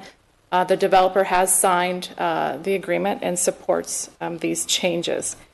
Except as specifically noted today in those two sections, all other terms and conditions uh, are in full force and effect and remain for the 2015 development agreement. There are no proposed um, changes to the project or any EIR mitigation measures or anything like that. This is simply just a technical um, amendment, a proposed amendment to the development agreement. And with that, um, this is a short and brief presentation, but certainly happy to answer any questions that you or may have. We have at least one question. I just wanted to be, I think I understand it, but I wanted to be clear on it. And basically, uh, as houses are being built, they're going to pay it, there's going to be a certain amount, for, a little over $4,000 that goes into the, uh, the uh, district, the park district. And of course, I think what it recognizes, of course, is that the, uh, you know, if you, if you just build one house, that's not enough money to pay for the park. And so I think what you're doing is providing for construction of the parks and the trails, and that's what's involved here. I guess what I think I heard too, and that's what I wanted to clarify, is, uh, of course, once the project is built out, then there's going to be a park district that's uh, continuing to maintain all the uh, developments, the infrastructure.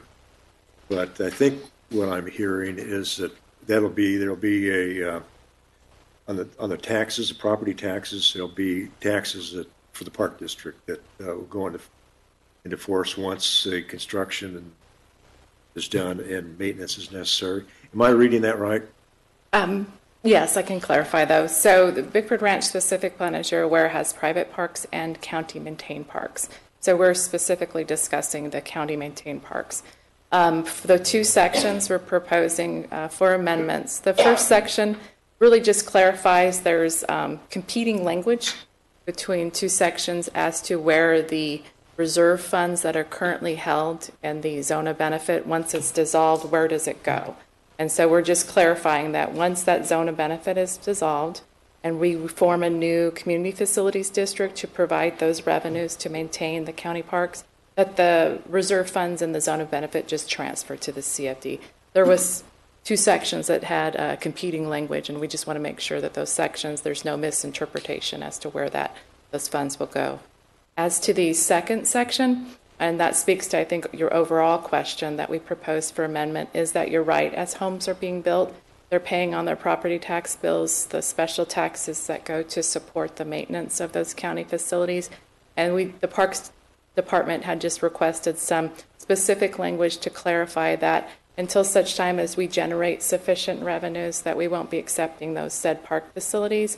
Um, and, and the developer would maintain those until we have that um, revenue level to support those facilities. Okay. That Well, makes thank you. I just wanted to make sure that I understood what was going on. You got it. Yeah. Thank Other you. It's very questions? technical. Apologize. I'm assuming they're going to be creating the CFD before they sell lots? Yes, the CFD is required to be created prior to the small lot map being finalized, and this, these, this language is resulting from those negotiations and discussions with the development team. All right. Uh, If there's no other comments of the commission, does the applicant uh, or the developer have a comment? Uh, nope. Uh, All right, thank you. At this time then, uh, let's open the public comment. Is there anyone in the audience who would like to speak?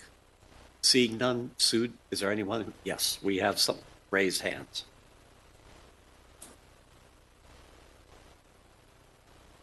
Ms. Niefer, please unmute your mic. You have three minutes. Hi, I'm Patty Niefer. I'm a Penryn resident, and thank you for the explanation of the, um, the reserve proceeds and the acceptance of the new park facilities. It doesn't look like it has anything to do with when the park facilities, uh, specifically the trails, um, would get, um, would open to access to the public. So my comment basically was, um, isn't relevant anymore. I wanted to make sure that once phase one is started, that the promised trail access, uh, kind of a loop trail, um, would still be part of the, um, the construction. Um, the other question I did have, or comment I have is, it looks like there's also an exemption, um, request from the, um, California Environmental Quality Act as part of this motion, and I, I didn't hear that explanation. Um, That's my only comment. All right, thank you. Are there, are there other comments?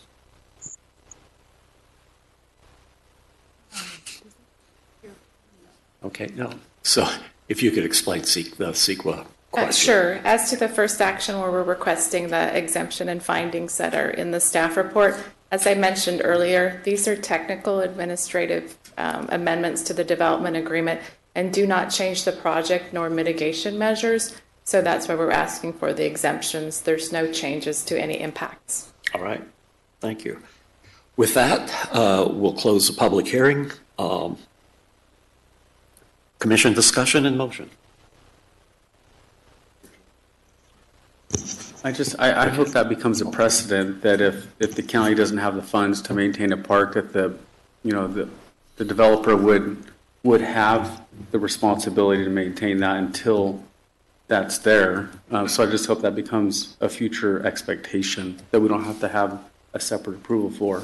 Okay, yeah. It's always typically implied. This is probably the first time we've specifically expressed it in a development agreement. Okay. Do we have a motion?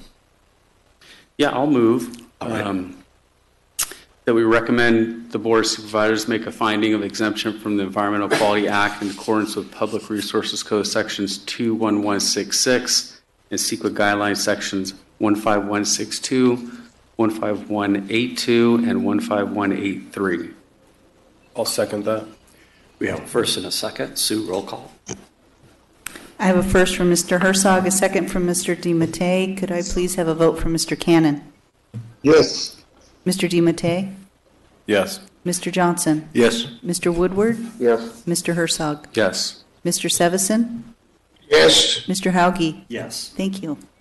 I'll further move that we recommend the Board of Supervisors adopt an ordinance amending the corrected, amended, and restated development agreement to clarify the use of reserve proceeds, proceeds from County Service Area 28, Zone of Benefit 184, upon dissolution, and clarify condition for acceptance of park facilities once sufficient community facilities district revenues are in place to support increased maintenance levels for the Bickford Ranch specific plan property owners.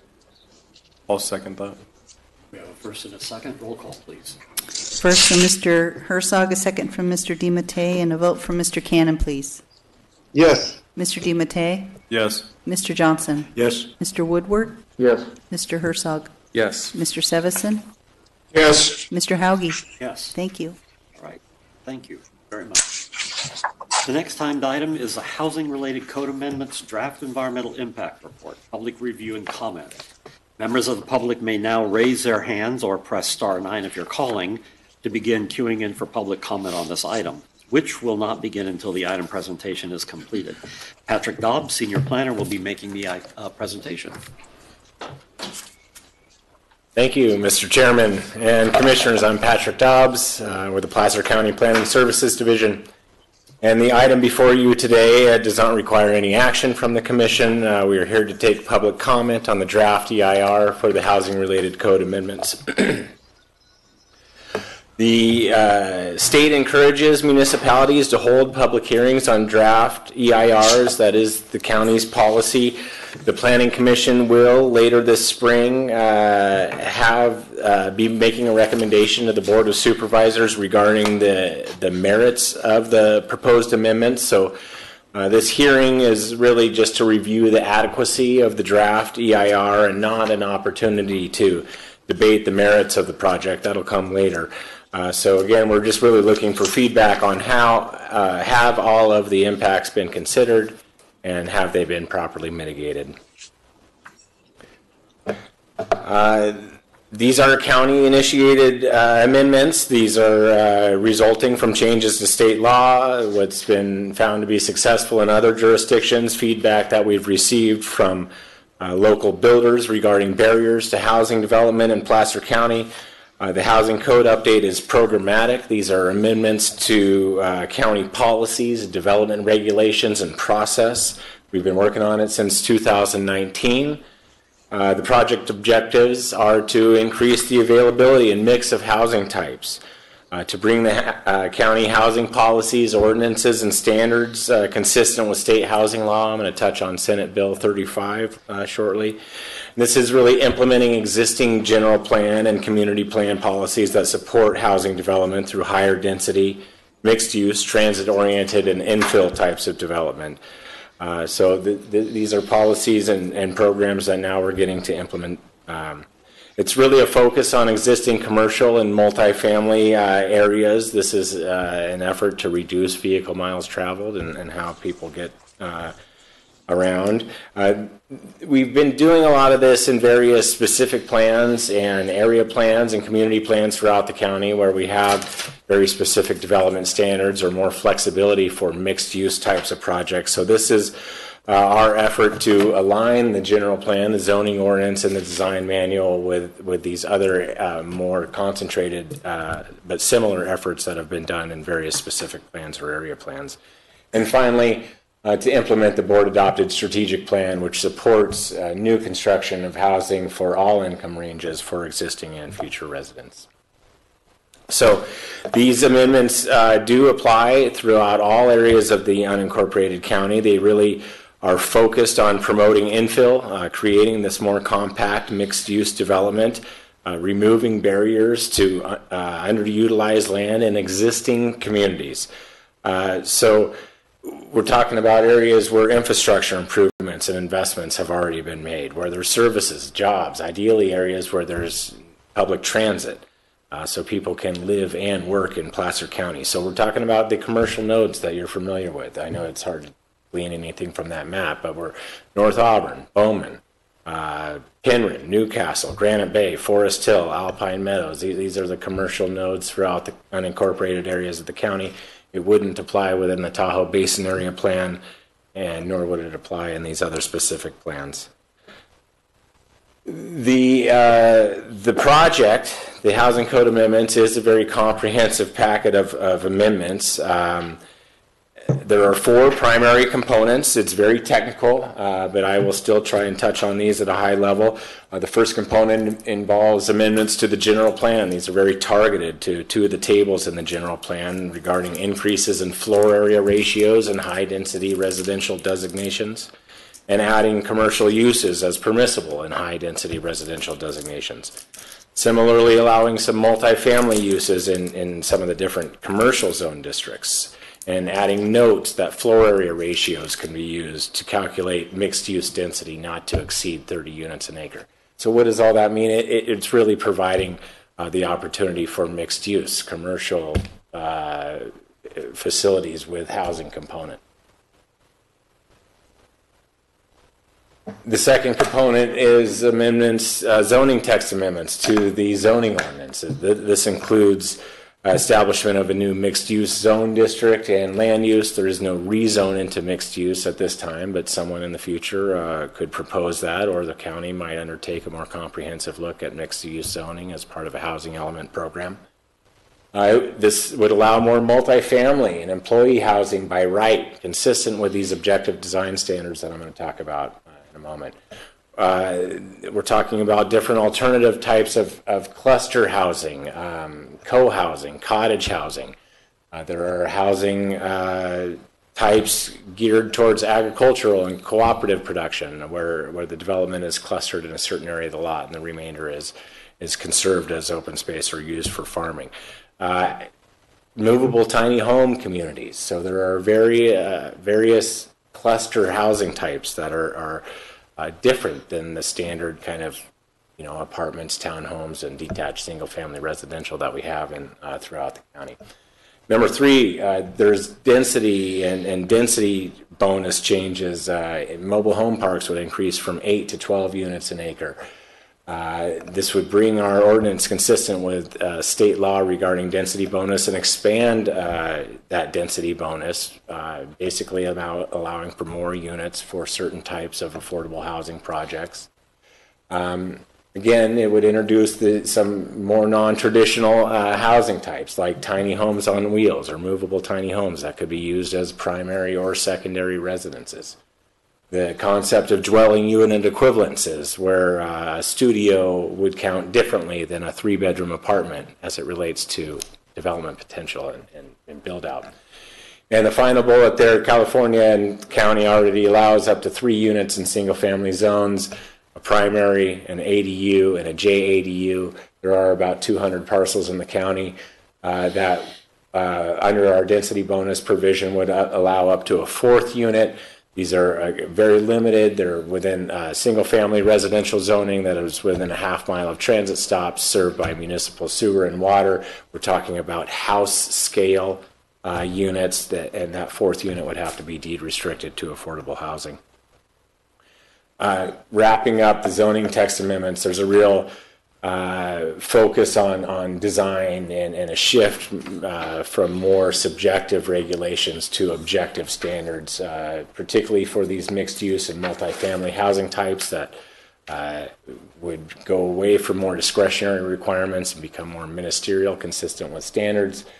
Uh, again, providing some flexibility on things like parking, height, lot coverage, greater floor area allowances, and that really ties into the, which is the third primary component of, of the housing related code amendments, and that's this design manual. Uh, we've given the commission updates at different points in the process on this, but well, what's important to note is uh, Senate Bill 35. Uh, you know, basically, if you're in certain zoning types that allow residential development, and for certain project types like affordable housing, the county can only rely on a, adopted objective design standards. Uh, and so, um, you know, uh, this would basically, with our focus in terms of uh, infill housing in existing communities, uh, this is really looking at transitional requirements, buffer requirements, and looking at how these additional housing uh, could be included and, and, and fit well within our existing established communities. The fourth component, this is technical. Uh, Placer County has uh, combining zone districts, and um, there's four of them that I kind of want to talk about. The dash B is the minimum building site, dash UP is combining use permit, and dash DL is design limitation uh, or density limitation. Those three combining districts all have their own kind of substitute development standards. Uh, in the case of UP, it would require every project with that designation to come before the Planning Commission and, and uh, receive discretionary approval. So uh, we're really trying to shift away from some of these um, uh, combining districts and, and back towards the base zoning and consistency with the design review requirements. So the design review is, is the fourth uh, combining district listed there. And let me try and explain what this means. Uh, there's a couple of exhibits here on the screen. The top left is, is North Auburn, the top right is Granite Bay, just for comparison. And so it, all the color you see in North Auburn, that's the Highway 49 corridor. Red is commercial, green is uh, multifamily, uh, yellow or the orange yellow. Uh, that is uh, single-family residential zoning within a half mile of transit. So you you kind of get a sense when you look at the communities where are we focused? We're focused on the the commercial uh, hubs, the town centers, if you will, areas that are, are within uh, proximity of of transit. Uh, comparatively, Granite Bay, um, you know, doesn't have transit currently. Uh, its its commercial and multifamily zoned areas are primarily along Douglas Boulevard. Um, so you know, not as many changes affected uh, there. But just trying to give a sense of the focus. These combining district zone changes won't affect any base zoning. So we're talking about properties with uh, commercial and uh, multifamily residential base zoning, and, and, and they would retain that base zoning. And so a few examples uh, at the bottom table there, and Placer County kind of has zoning sentences here. So uh, that first example would be C1 UPDC is a neighbor, neighborhood commercial with a combining use permit and combining design review requirement. Uh, Again, uh, the proposed zoning would eliminate that use permit requirement and uh, rely on the table within uh, the zone district in terms of what requires a use permit and what just requires zoning clearance. And, and uh, rely on these objective design review requirements established with the design manual. The second example, multifamily residential with a density limitation of eight units per acre. That density limitation would be removed with its substitute standards, again, relying on, on uh, these adopted design manuals for these different types of multifamily and mixed-use housing. And finally, example, uh, there are, you know, going to be examples where there's more than one of these combining districts that needs to be removed. But you'll see in most of the examples, we're talking about commercial multifamily areas that are along major corridor routes. Most of them already have a design review requirement. Uh, this is just a shift from, you know, more subjective guidelines that do things that encourage and don't have much teeth to uh, really uh, defining, you know, what we want these types of projects to look like and how they will fit within our community. So again, that's the fourth component of these overarching housing-related code amendments, general plan amendments, zoning ordinance, text amendments, uh, the adoption of the design manual and changes to uh, zoning maps as it relates to these uh, combining districts.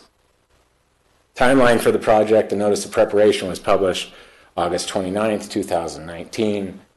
Uh, The comment period ran through September 27th of 2019. We had a scoping meeting in this room on September 18th, 2019, and the draft EIR was released January 21st of this year. Uh, People who commented on the NLP, uh, newspapers, state and federal agencies, public agencies, schools, uh, recipients of our housing newsletter, county staff all received notice uh, that the draft EIR is available. We analyzed uh, the full range of environmental areas, so I'm not going to read all of those off, uh, but most of them uh, have either no impact or less than significant impact. So uh, for agricultural and forestry resources, hazards and hazardous material, hydrology, water quality, land use and planning, mineral resources, noise, population and housing, public services, recreation and utilities and service systems, transportation and wildfire. There was no mitigation. There was no uh, to those resource areas. There were a number of areas that did have mitigation, but uh, you know, we're talking about things like light sources uh, relating to aesthetics, compliance with air pollution control districts uh, regarding best uh, management practices and best construction practices, or discovery of naturally occurring asbestos during construction. There are a number of mitigation measures uh, to uh, survey and protect and avoid biological resources, to follow best management practices and compliance with energy efficiency. Uh, there are geotech requirements uh, and um, mitigation for placement of facilities on expansive soil or if you were to destruct a unique paleontological resource. There are greenhouse gas emissions requiring installation of electric appliances in new construction, encouraging things like vehicle charging stations. There's hydrology and water quality mitigations, drainage reports, and staying out of floodplains, uh, tribal cultural resources to avoid uh, archaeology, archaeological resources. So uh, the point is, you know, yes, there are some impacts. These sort of mitigations, this is just standard stuff. We hold any project uh, accountable to these sort of requirements. What we're talking about here is what we're trying to accomplish at a programmatic level is a challenge because we don't know exactly where these projects will, will occur. But it is, uh, you know, safe to say that there are the protections in place that when site-specific projects come in, they will be evaluated and uh, additional mitigation could be required. There was some uh, one uh, significant and unavoidable impact uh, in the draft EIR that is related to cultural resources. Again, this is just due to the uncertainty of of uh, where these projects would be, and uh, basically concluded that uh, there is no additional mitigation necessary. That the current general plan policies and county ordinances cover this type of impact. Um, there were uh, three alternatives uh, looked at in accordance with CEQA, the no project alternative, the no workforce housing alternative, and the reduced intensity alternative. Um, the no project alternative would just have the same impacts identified in the adopted general plan. Uh, the no workforce housing alternative would exclude workforce housing for caretaker and employee housing. It really wouldn't uh, reduce the number of potential units that could be developed throughout the county. Um, and the reduced intensity uh, would re- eliminate that density bonus provision that would allow fourplexes on these low density residential lots within half mile of transit. That would re- result in a reduced uh, potential of, of, development and, and a, a corresponding redu- res- uh, reduction in potential impacts. Um, but you know, when you look at the, the differences, I mean, the no project is less than significant. The other, the project and, and the no workforce housing, the reduced intensity, they all have less than significant and mitigation measures.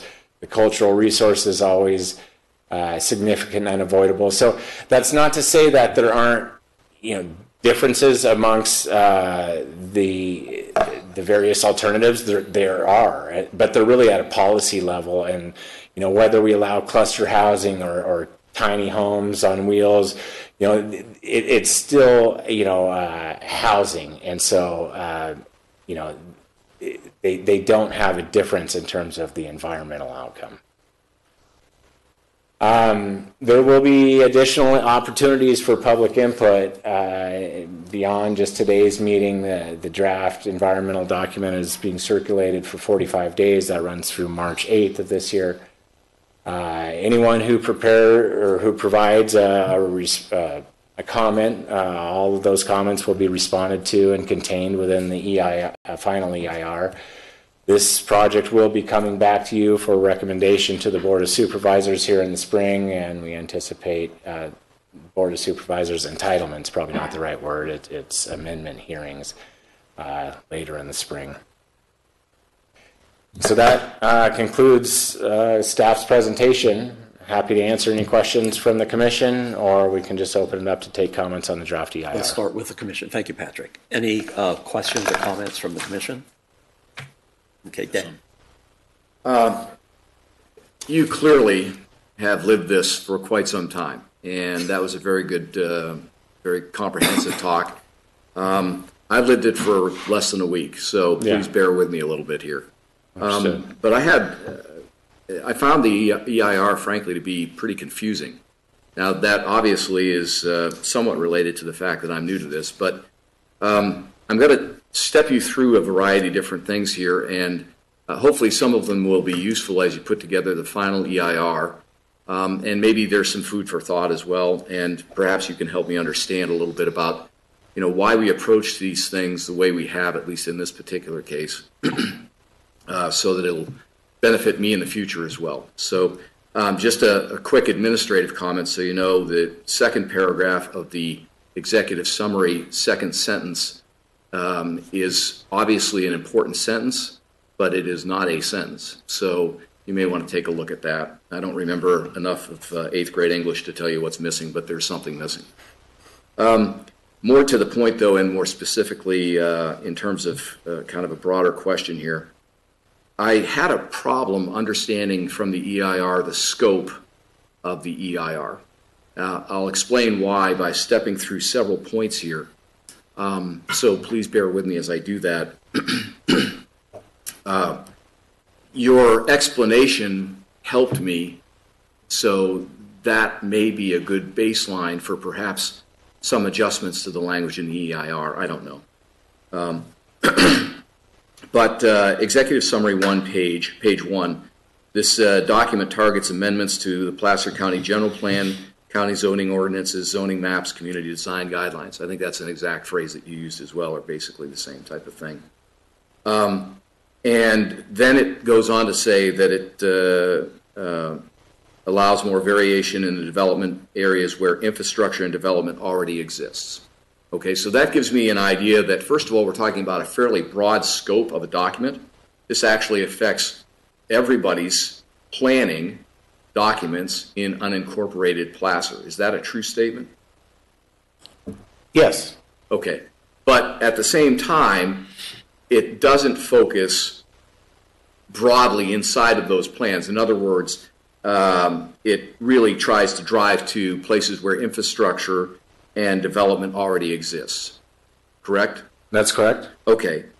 Then, um, in some of the mitigation statements that are articulated in the document as you step through it, like for example, uh, ES3, part of a mitigation statement, the document specifies that projects are located, um, that projects that are located on, quote, underdeveloped parcels in areas where, uh, in areas that are surrounded by limited urban development uh, will include a lighting plan. So that's uh, a mitigation strategy associated with a lighting plan. So this is where I got confused because I literally stepped from ES1 to ES3, and now you're talking about a mitigation strategy associated with um, underdeveloped parcels in areas that are surrounded by limited urban development. So do you understand where I'm getting the disconnect here? Because literally on ES1, you talk about where infrastructure and development already exists, and then ES3, you discuss underdeveloped areas. Now, the reason I think this is important is because this goes to the scope of the whole document. The fact is, are we addressing, or the question is, are we addressing underdeveloped, undeveloped areas as well here? Are we going to modify plans associated with those areas as well or not?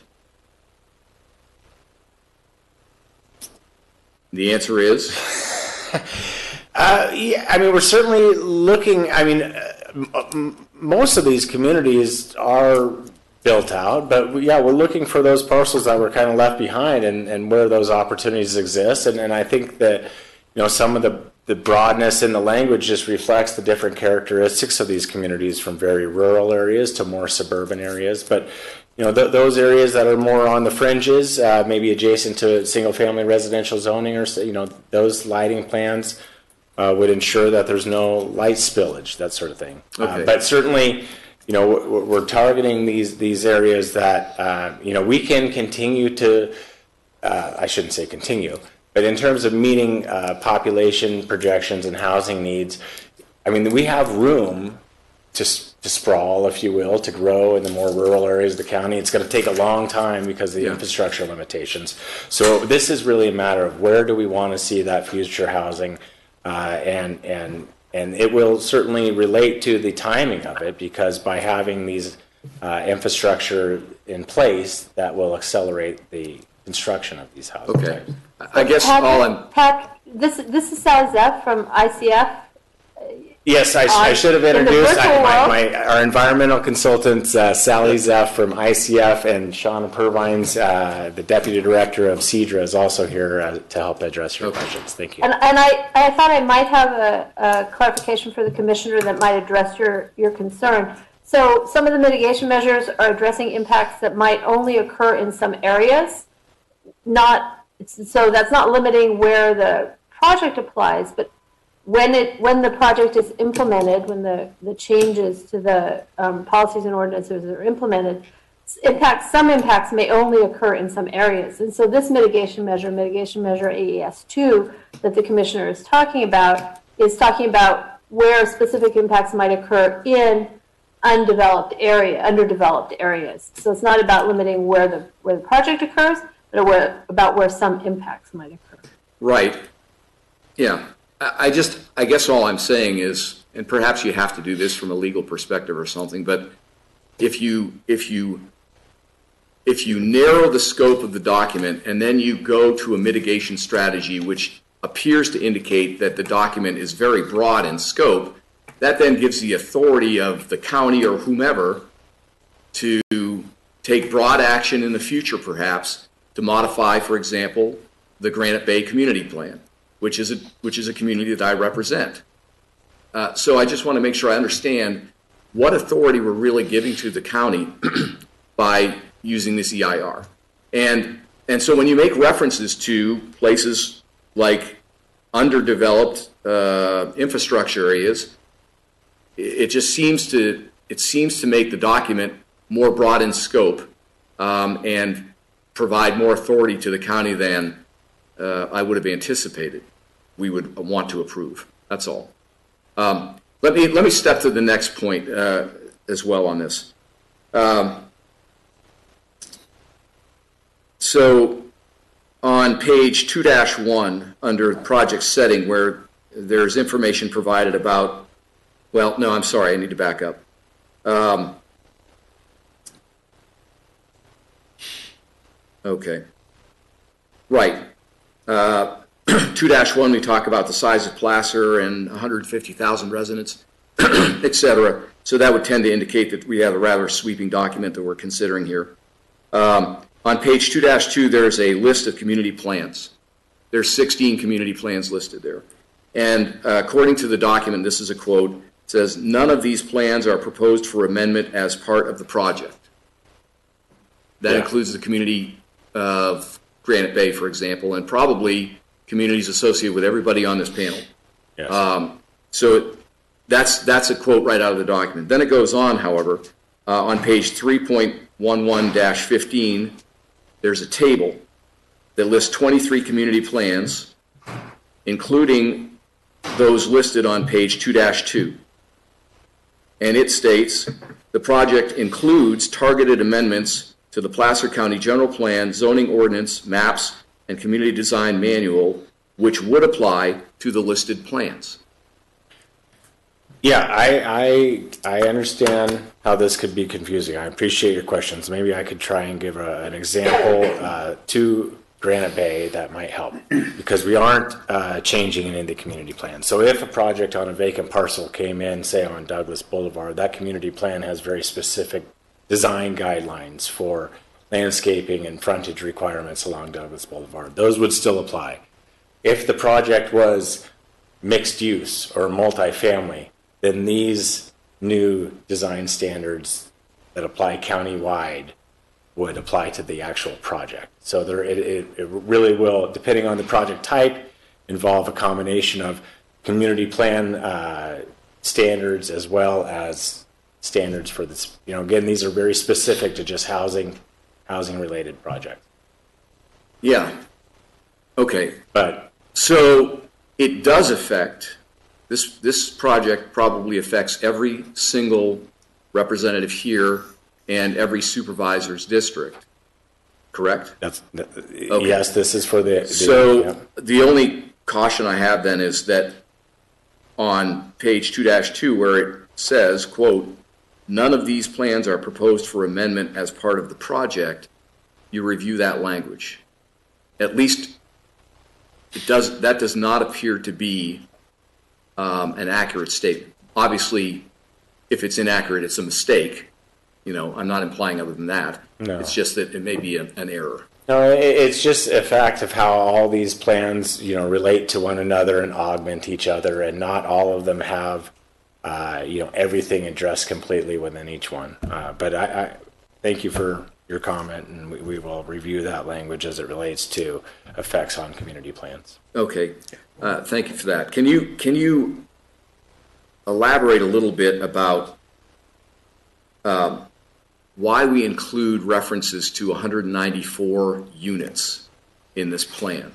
Uh, th- and I touched on it, but uh, it, this these are these 200, well, 194 parcels that are have base zoning of single family residential, that are served by municipal sewer and water and are within a half mile of transit. There, uh, you know, there's some in North Auburn, there's some up in the Squaw, like Highway 89 area, there's none in Granite Bay because you're not served by transit.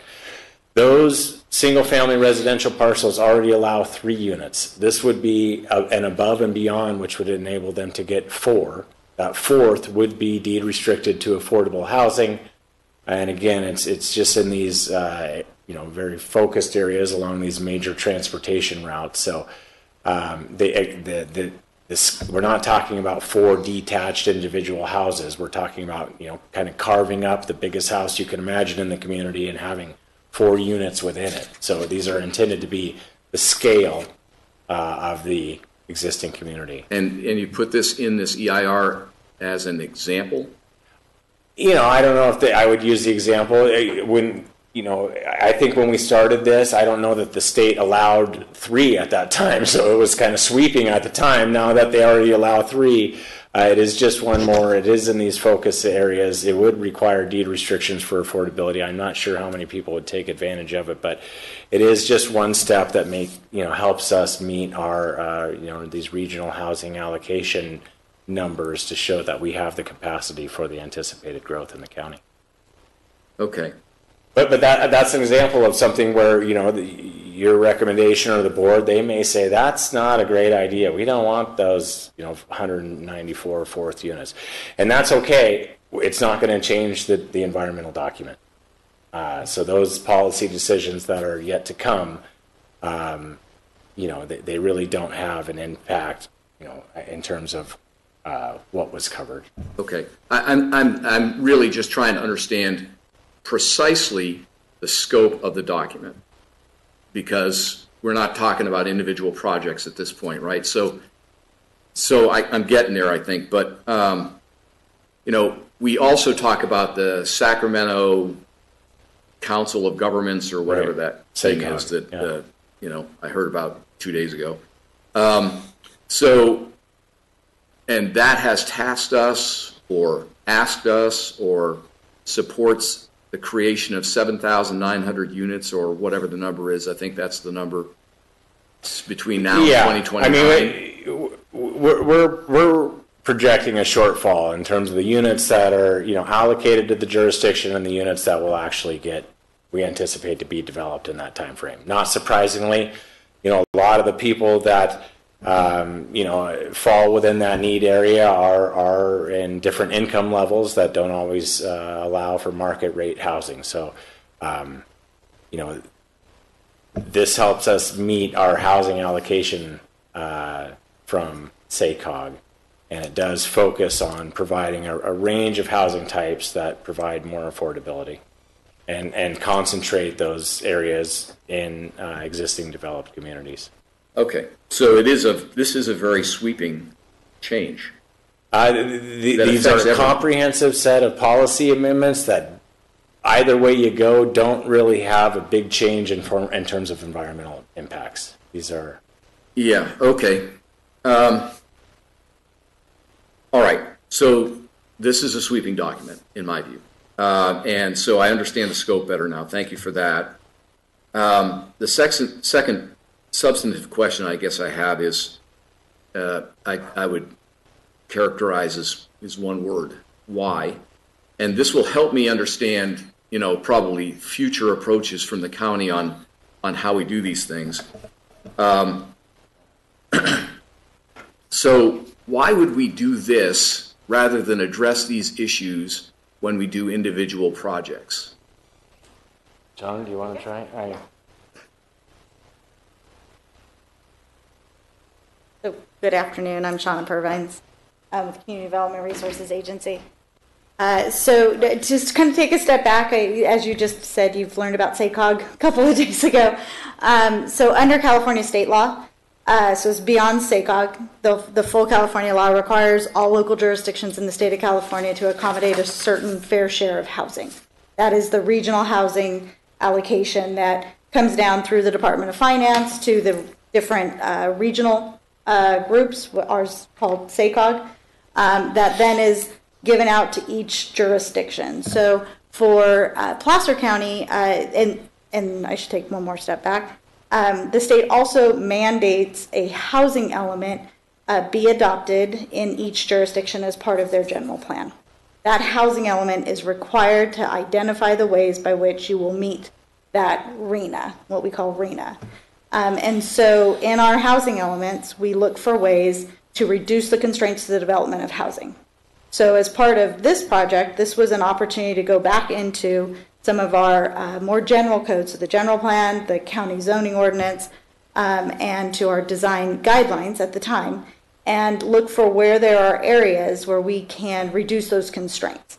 And, the, and so this is a package of those items that were determined by a number of different things like Patrick talked about. One, we interviewed some of our builders and our developers that have, you know, processed uh, applications, building permits uh, through the county to determine what some of those hurdles they had uh, were and where we might be able to help streamline that development. Uh, we also did a comprehensive kind of look at other jurisdictions who had uh, successfully uh, modified their codes and ordinances and, and had some success with streamlining their development. So we looked at those. Um, and then we just took straight out of state law. The, since about 2017, we've had a substantial amount of changes in state law um, that are directing local jurisdictions uh, where we're going to streamline it. And Patrick mentioned one of those, which is SB 35. Um, so, kind of taking all those together, we went through our general codes, our general plans, our general zoning, um, and look for those areas where we could um, identify and make those modifications so projects could come through more um, uh, quickly through the process. Um, many of the projects still are going to require some level of discretionary review. Um, they'll just be applied these standards um, or these new these new changes. Um, where community plans, I know the question came up with community plans. Community plans are essentially uh, considered general plans. Um, so where those community plans and, and all of them are very different, very different. None of them look the same. Um, some rely more on county zoning, others rely uh, less on zoning and have their own zoning built into them. So where those community plans would rely on more general policies, they would fall back to these general policies. Where those community plans have their own specific uh, requirements or guidelines, then those would be applied. So um, each each community is just a little bit different.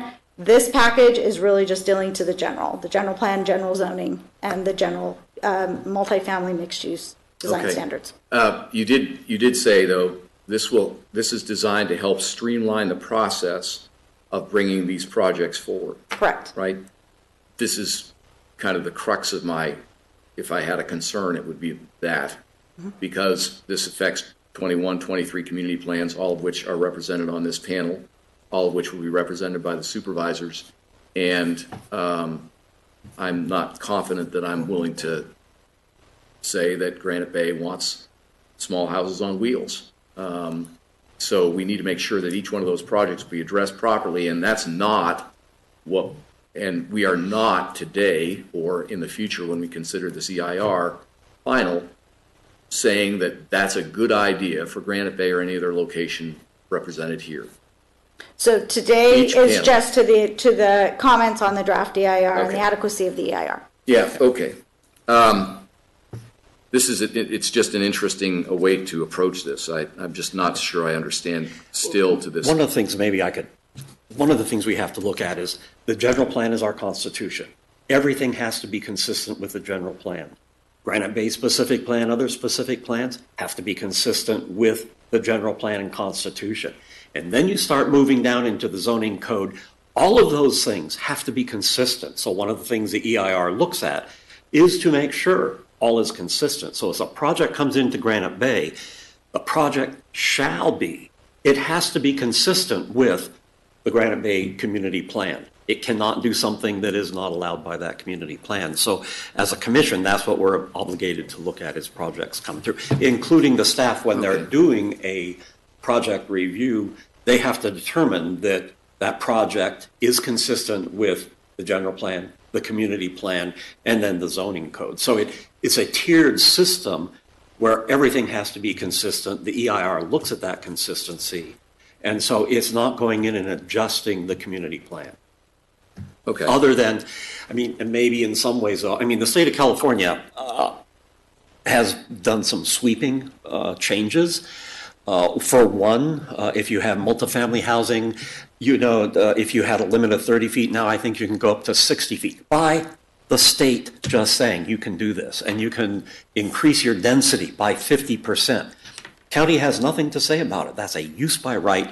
The state has made that determination. So there are some things the state of California has determined for this county that we have no say over. And it does impact the community plan, but the state trumps the general plan. The state trumps the community plan. So Sure. It's just interesting to me that we're, this requires an EIR when it appears to be uh, actions associated with policies that support statute. So I mean, you know, if this has been a, if this is a law, why are we writing an EIR on it? I mean, you know. Because if we're gonna interpreting the law as a county, we're interpreting the law and adding new zoning codes or uh, changes that do have to be evaluated under CEQA. Okay. Yeah, and if, if I could just add one point, uh, the state legislature obviously makes the laws. Um, once the county then enacts those laws, any action that the county takes still has to be subject to that environmental review. So even though the state says you have to do this, if the county is going to take undertake any of its own action, it has to evaluate each of those to see if there is going to be an environmental impact. Um, and in this situation, it's looking at the the county's looking at the housing element and updating its housing element, so it has to look at the environmental impacts of that update. Um, and depending on the level of impacts, depends on the level of environmental review. Here we have an environmental impact report, um, and that's it's largely saying that the impacts are being reduced, and, and these changes are more um, processing changes that won't have big environmental impacts. But we still have to go through that process um, when we're making when the county's making a formal change to something. Okay, well, when, when this comes back, I would say this.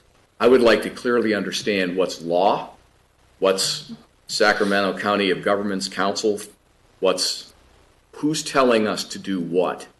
Obviously, if it's law, then this is easy to figure out.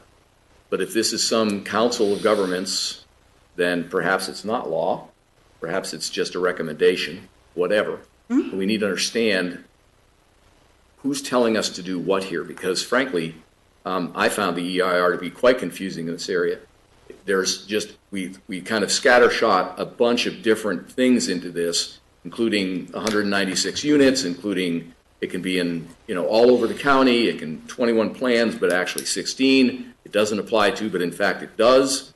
Those kinds of issues are in there. Um, and a, a couple of more specific things. Um, I, I, uh, because there's no specific uh, project here, this is a difficult thing, I think, from an EIR writer's perspective to get your arms around. But I've got to say, it was mystifying to read in some ways. So this, this proposal deals with um, all of the community plans and the general plan, and et cetera, et cetera. And yet, we found no impact whatsoever for land use and planning, public services, recreation, utilities, service systems, and transportation. No impact. No mitigation, no nothing, just no impact. So let's take a look at two of these real quickly. Uh, 3.11 point, uh, dash 20 discusses environmental impacts of land use and planning and according to the document, it says CEQA requires that an EIR consider if a project will, quote, conflict with any applicable land use plan, policy, or regulation that was adopted for the purpose of avoiding or mitigating an environmental impact. That's a quote. So, what you're telling me when you say there's no impact is that you have considered 21 different plans and concluded that there's no impact to um, land use and planning. Yet the whole purpose of this document is to modify all of these plans. True? So the, the, the proposed changes do not modify, modify any of the community plans. Um, and the impacts we're looking at, and, and Sally Zeff with ICF can also address this, looks at any new impacts. So it bases what we are, what's allowed today and looks at it, the, based on the change, will it actually create a new impact? So it did go back through and look at all the plans and then uh, determined if, based on this change, is there a, a, a determination of a new impact that would be created by this change? Um, so at this point, and, and as was stated before, there's no proposed amendments to the community plans as part of this. Okay, so, uh, page three point one one dash one five, I'm sorry, I've been returning to that.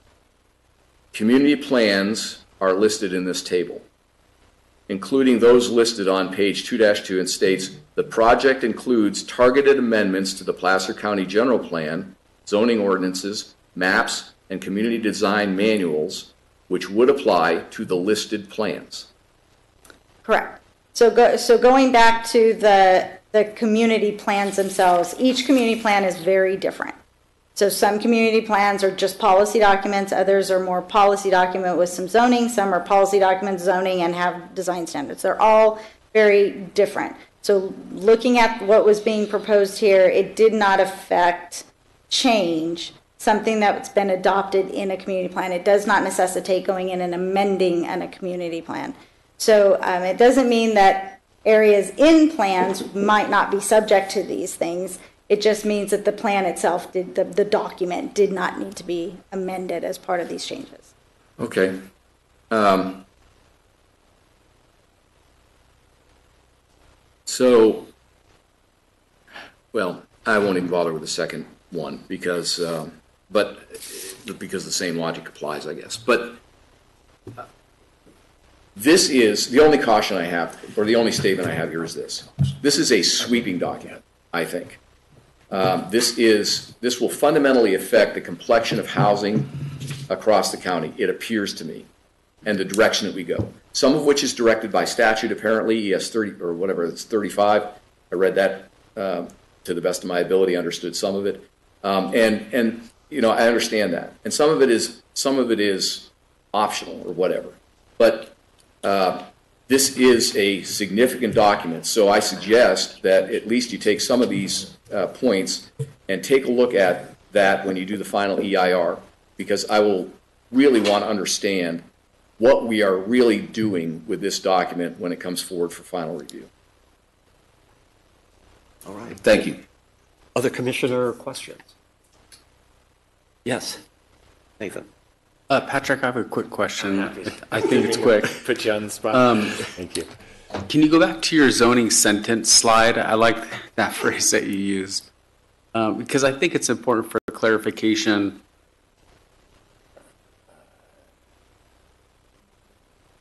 Yeah, okay, so here we have the existing zoning, proposed zoning codes, and on the left, the existing codes, I, you know, each one of those letters and numbers means something.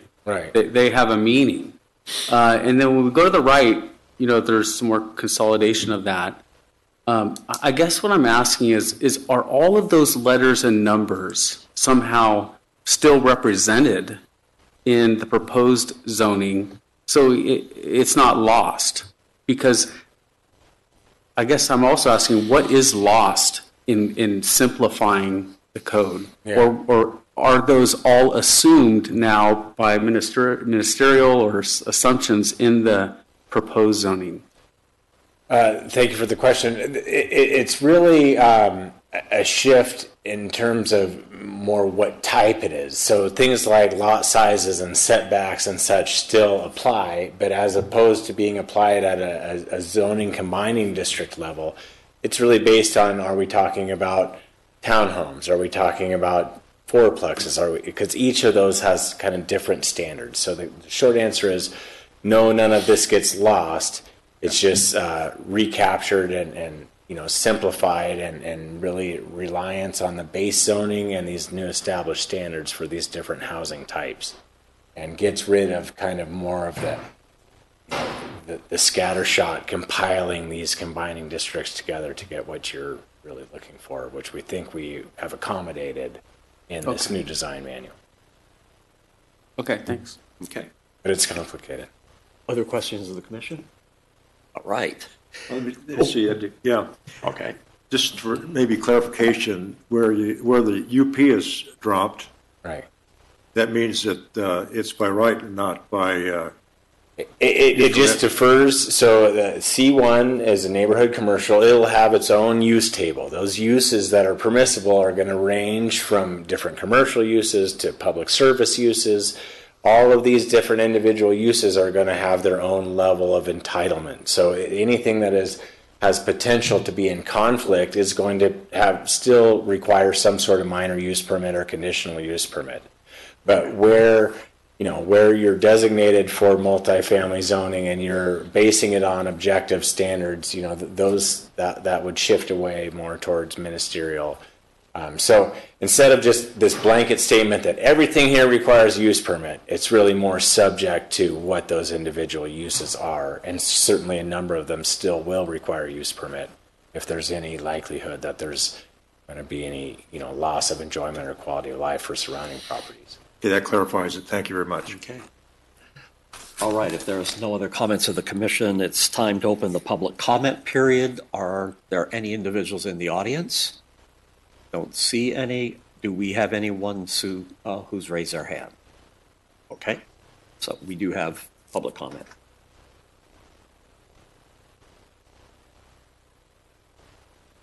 Ms. Jasper, please unmute your mic. You'll have three minutes. Thank you. Marilyn Jasper, speaking on behalf of Public Interest Coalition. Um, Commissioner Woodward's, if I have the name right, comments are greatly appreciated. We realize this is an EIR discussion, but uh, just want to bring up two points. To many environmental advocates, the word, quote, streamline, unquote, is, is often a red flag. I won't take time to give examples of how how some of the grave concerns come about and have merit as soon as something is streamlined. Um, second, with the fourth unit, affordable housing, in some cases, affordable housing, uh, it, uh, when it's permitted, it, it comes with significant financial breaks, huge permitting permit cost reductions, are granted. But if this EIR is to cover impacts, the amendment needs to be specific in writing and enforceable, the language that is, as to when or if the affordable housing overlay or the code expires.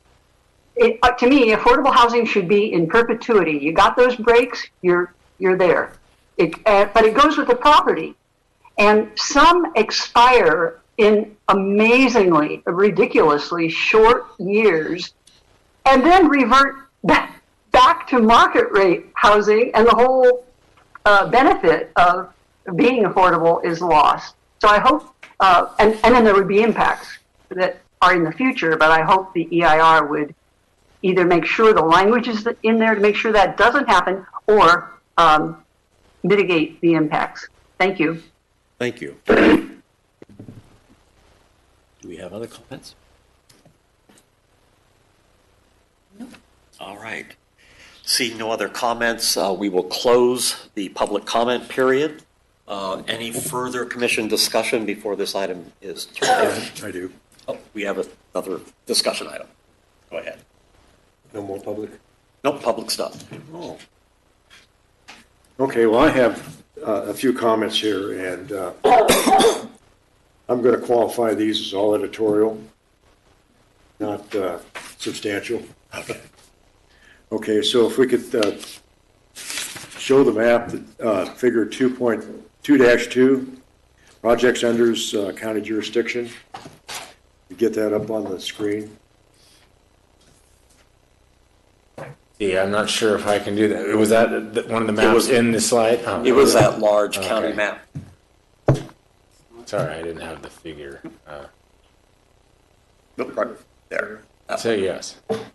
Okay, uh, on this map, and this is really a minor point, but uh, you look where Tahoma is, and you go west, and you see a large block of uh, commercial zoning.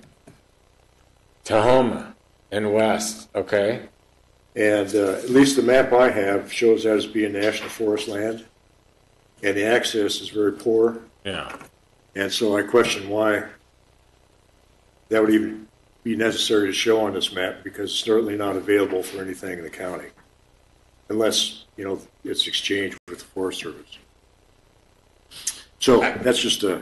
It looks like kind of an anomaly. You typically don't see this higher intensity zoning out in the forest like that. So I- Yeah. we'll have to look into whether that's some public service. uh, Yeah, just caught my eye. Yeah. Sorry about that. No, it's good catch. Okay, when we get back to, uh, And again, none of it applies within the Tahoe Basin area plan because the, right, well, that's outside the Tahoe Basin. oh, okay, all right. Yeah. Because all, all this gray shaded area would represent uh, that TRPA jurisdiction. Right. But the red square is outside. Yep, got it.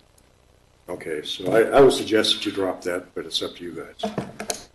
Okay, uh, when we get to uh, the water part of this, and I I have three point ten eight, and there's a listing of uh, several, well, of the, the upper American River watershed, and shows several lakes and reservoirs in El Dorado County, as well as uh, like French Meadows, Hellhole, and uh, Lake Valley and Placer County. But it doesn't show Sugar Pine Reservoir, which really is a source of water for the Forest Hill community. And so probably, you know, it's not a big point, but by leaving that out, uh, you know, Yeah. people are going to pick up on that. Okay. And then I also might mention someplace in here where you're listing, where there's a listing of water districts. Yes. I didn't notice the Forest Hill Public Utilities District uh, listed as a water district. And so that would need to be corrected. Okay, uh, maybe just two more editorial things. Oops, I lost one. Um, Fire stations. And the listing is, and this is on 3.15-16, And it lists uh, a lot of full-time Placer County fire stations, which to me looks like those are the ones that are contract stations with the county. But also, uh, there's fire stations in the Tahoe area, particularly at uh, Northstar, Squaw Valley, and a portion of the North Tahoe Fire District includes Alpine Meadows. And so I think those should probably be listed. Also, Meadow Vista and Forest Hill and Newcastle and uh, Penryn all have their own fire departments, as well as uh, Forest Hill. And so, uh, at least I would suggest that maybe uh, get more complete list of the fire stations in Placer County. Thank you. And then maybe finally, I guess the area where I'm a little bit confused is the 89 corridor. It's got listed uh, 41 units. It's the biggest number of units in the east side of the county. And when I look at the map of that corridor, it's very complex with uh, predominantly national forest land. A lot of small parcels in there that uh, actually are developed with cabins and pretty fancy cabins and maybe a little bit of uh, land around the mouth of Squaw Valley. But I think when the focus of the east side of the county is going to be on 41 units and 89 corridor, that uh, maybe a little bit more explanation of what we're talking about there in terms of availability of the land and how uh, that might interact with the public lands that surround it. So that would be just an idea, suggestion. I guess that's my comments, and as you can see, they're not substantial, they're all editorial, but at any rate, it might help improve the document. Thank you. Clarify it. Thank you. Other commissioner comments? If not, Patrick, thank you so much. Thank you. Um, And we'll see you again this spring. I look forward to it. All right. The next timed item is the AT&T cell tower appeal of the zoning administrator's denial of a minor use permit. And I understand, Mr. Ivaldi, you have some comment. Yeah, thank you, Chairman. Uh, yeah, the AT&T cell tower appeal, uh, the zoning administrator's denial of a minor use permit. Uh, we need to uh, resend out a corrected notice. And so I'm going to ask that you continue that to an open date, but the intention is uh, to, uh, to bring it back on February 25th. But uh, you want to leave it open date? Leave it open Uh, date. We have, we do have a couple holidays coming up, so uh, we're, we're pretty certain we can get that out uh, in time to meet our legal deadlines. Uh, But open date gives us that flexibility. All right, so I'll ask for a motion to continue this item to a date uncertain. Actually, uh, before a motion, we should open up the public comment. Oh, thank you. Didn't see that on that list, but, uh, so at this point in time, uh, we'll open it up for public comment. Is there anyone in the audience? I don't see anyone. And Sue, do we have anyone raising their hand? Okay, so with that, we'll close the public comment period and ask uh, Commissioner to make a motion to continue this item to a date uncertain. I'll make a motion that we continue item five on the agenda, AT&T cell tower, appeal the zoning administrator's denial of a minor use permit, PLN 1900212, until a, a future date open. Second. We have a first and a second. Roll call, please. I have a first from Mr. Herzog, a second from Mr. Sevison, so a vote from Mr. Cannon, please. Yes. Mr. DiMattei? Yes. Mr. Johnson? Yes. Mr. Woodward? Yes. Mr. Herzog? Yes. Mr. Sevison? Yes. Mr. Hauge? Yes. Thank you. With that concludes the uh, Planning Commission meeting for today. The meeting is adjourned.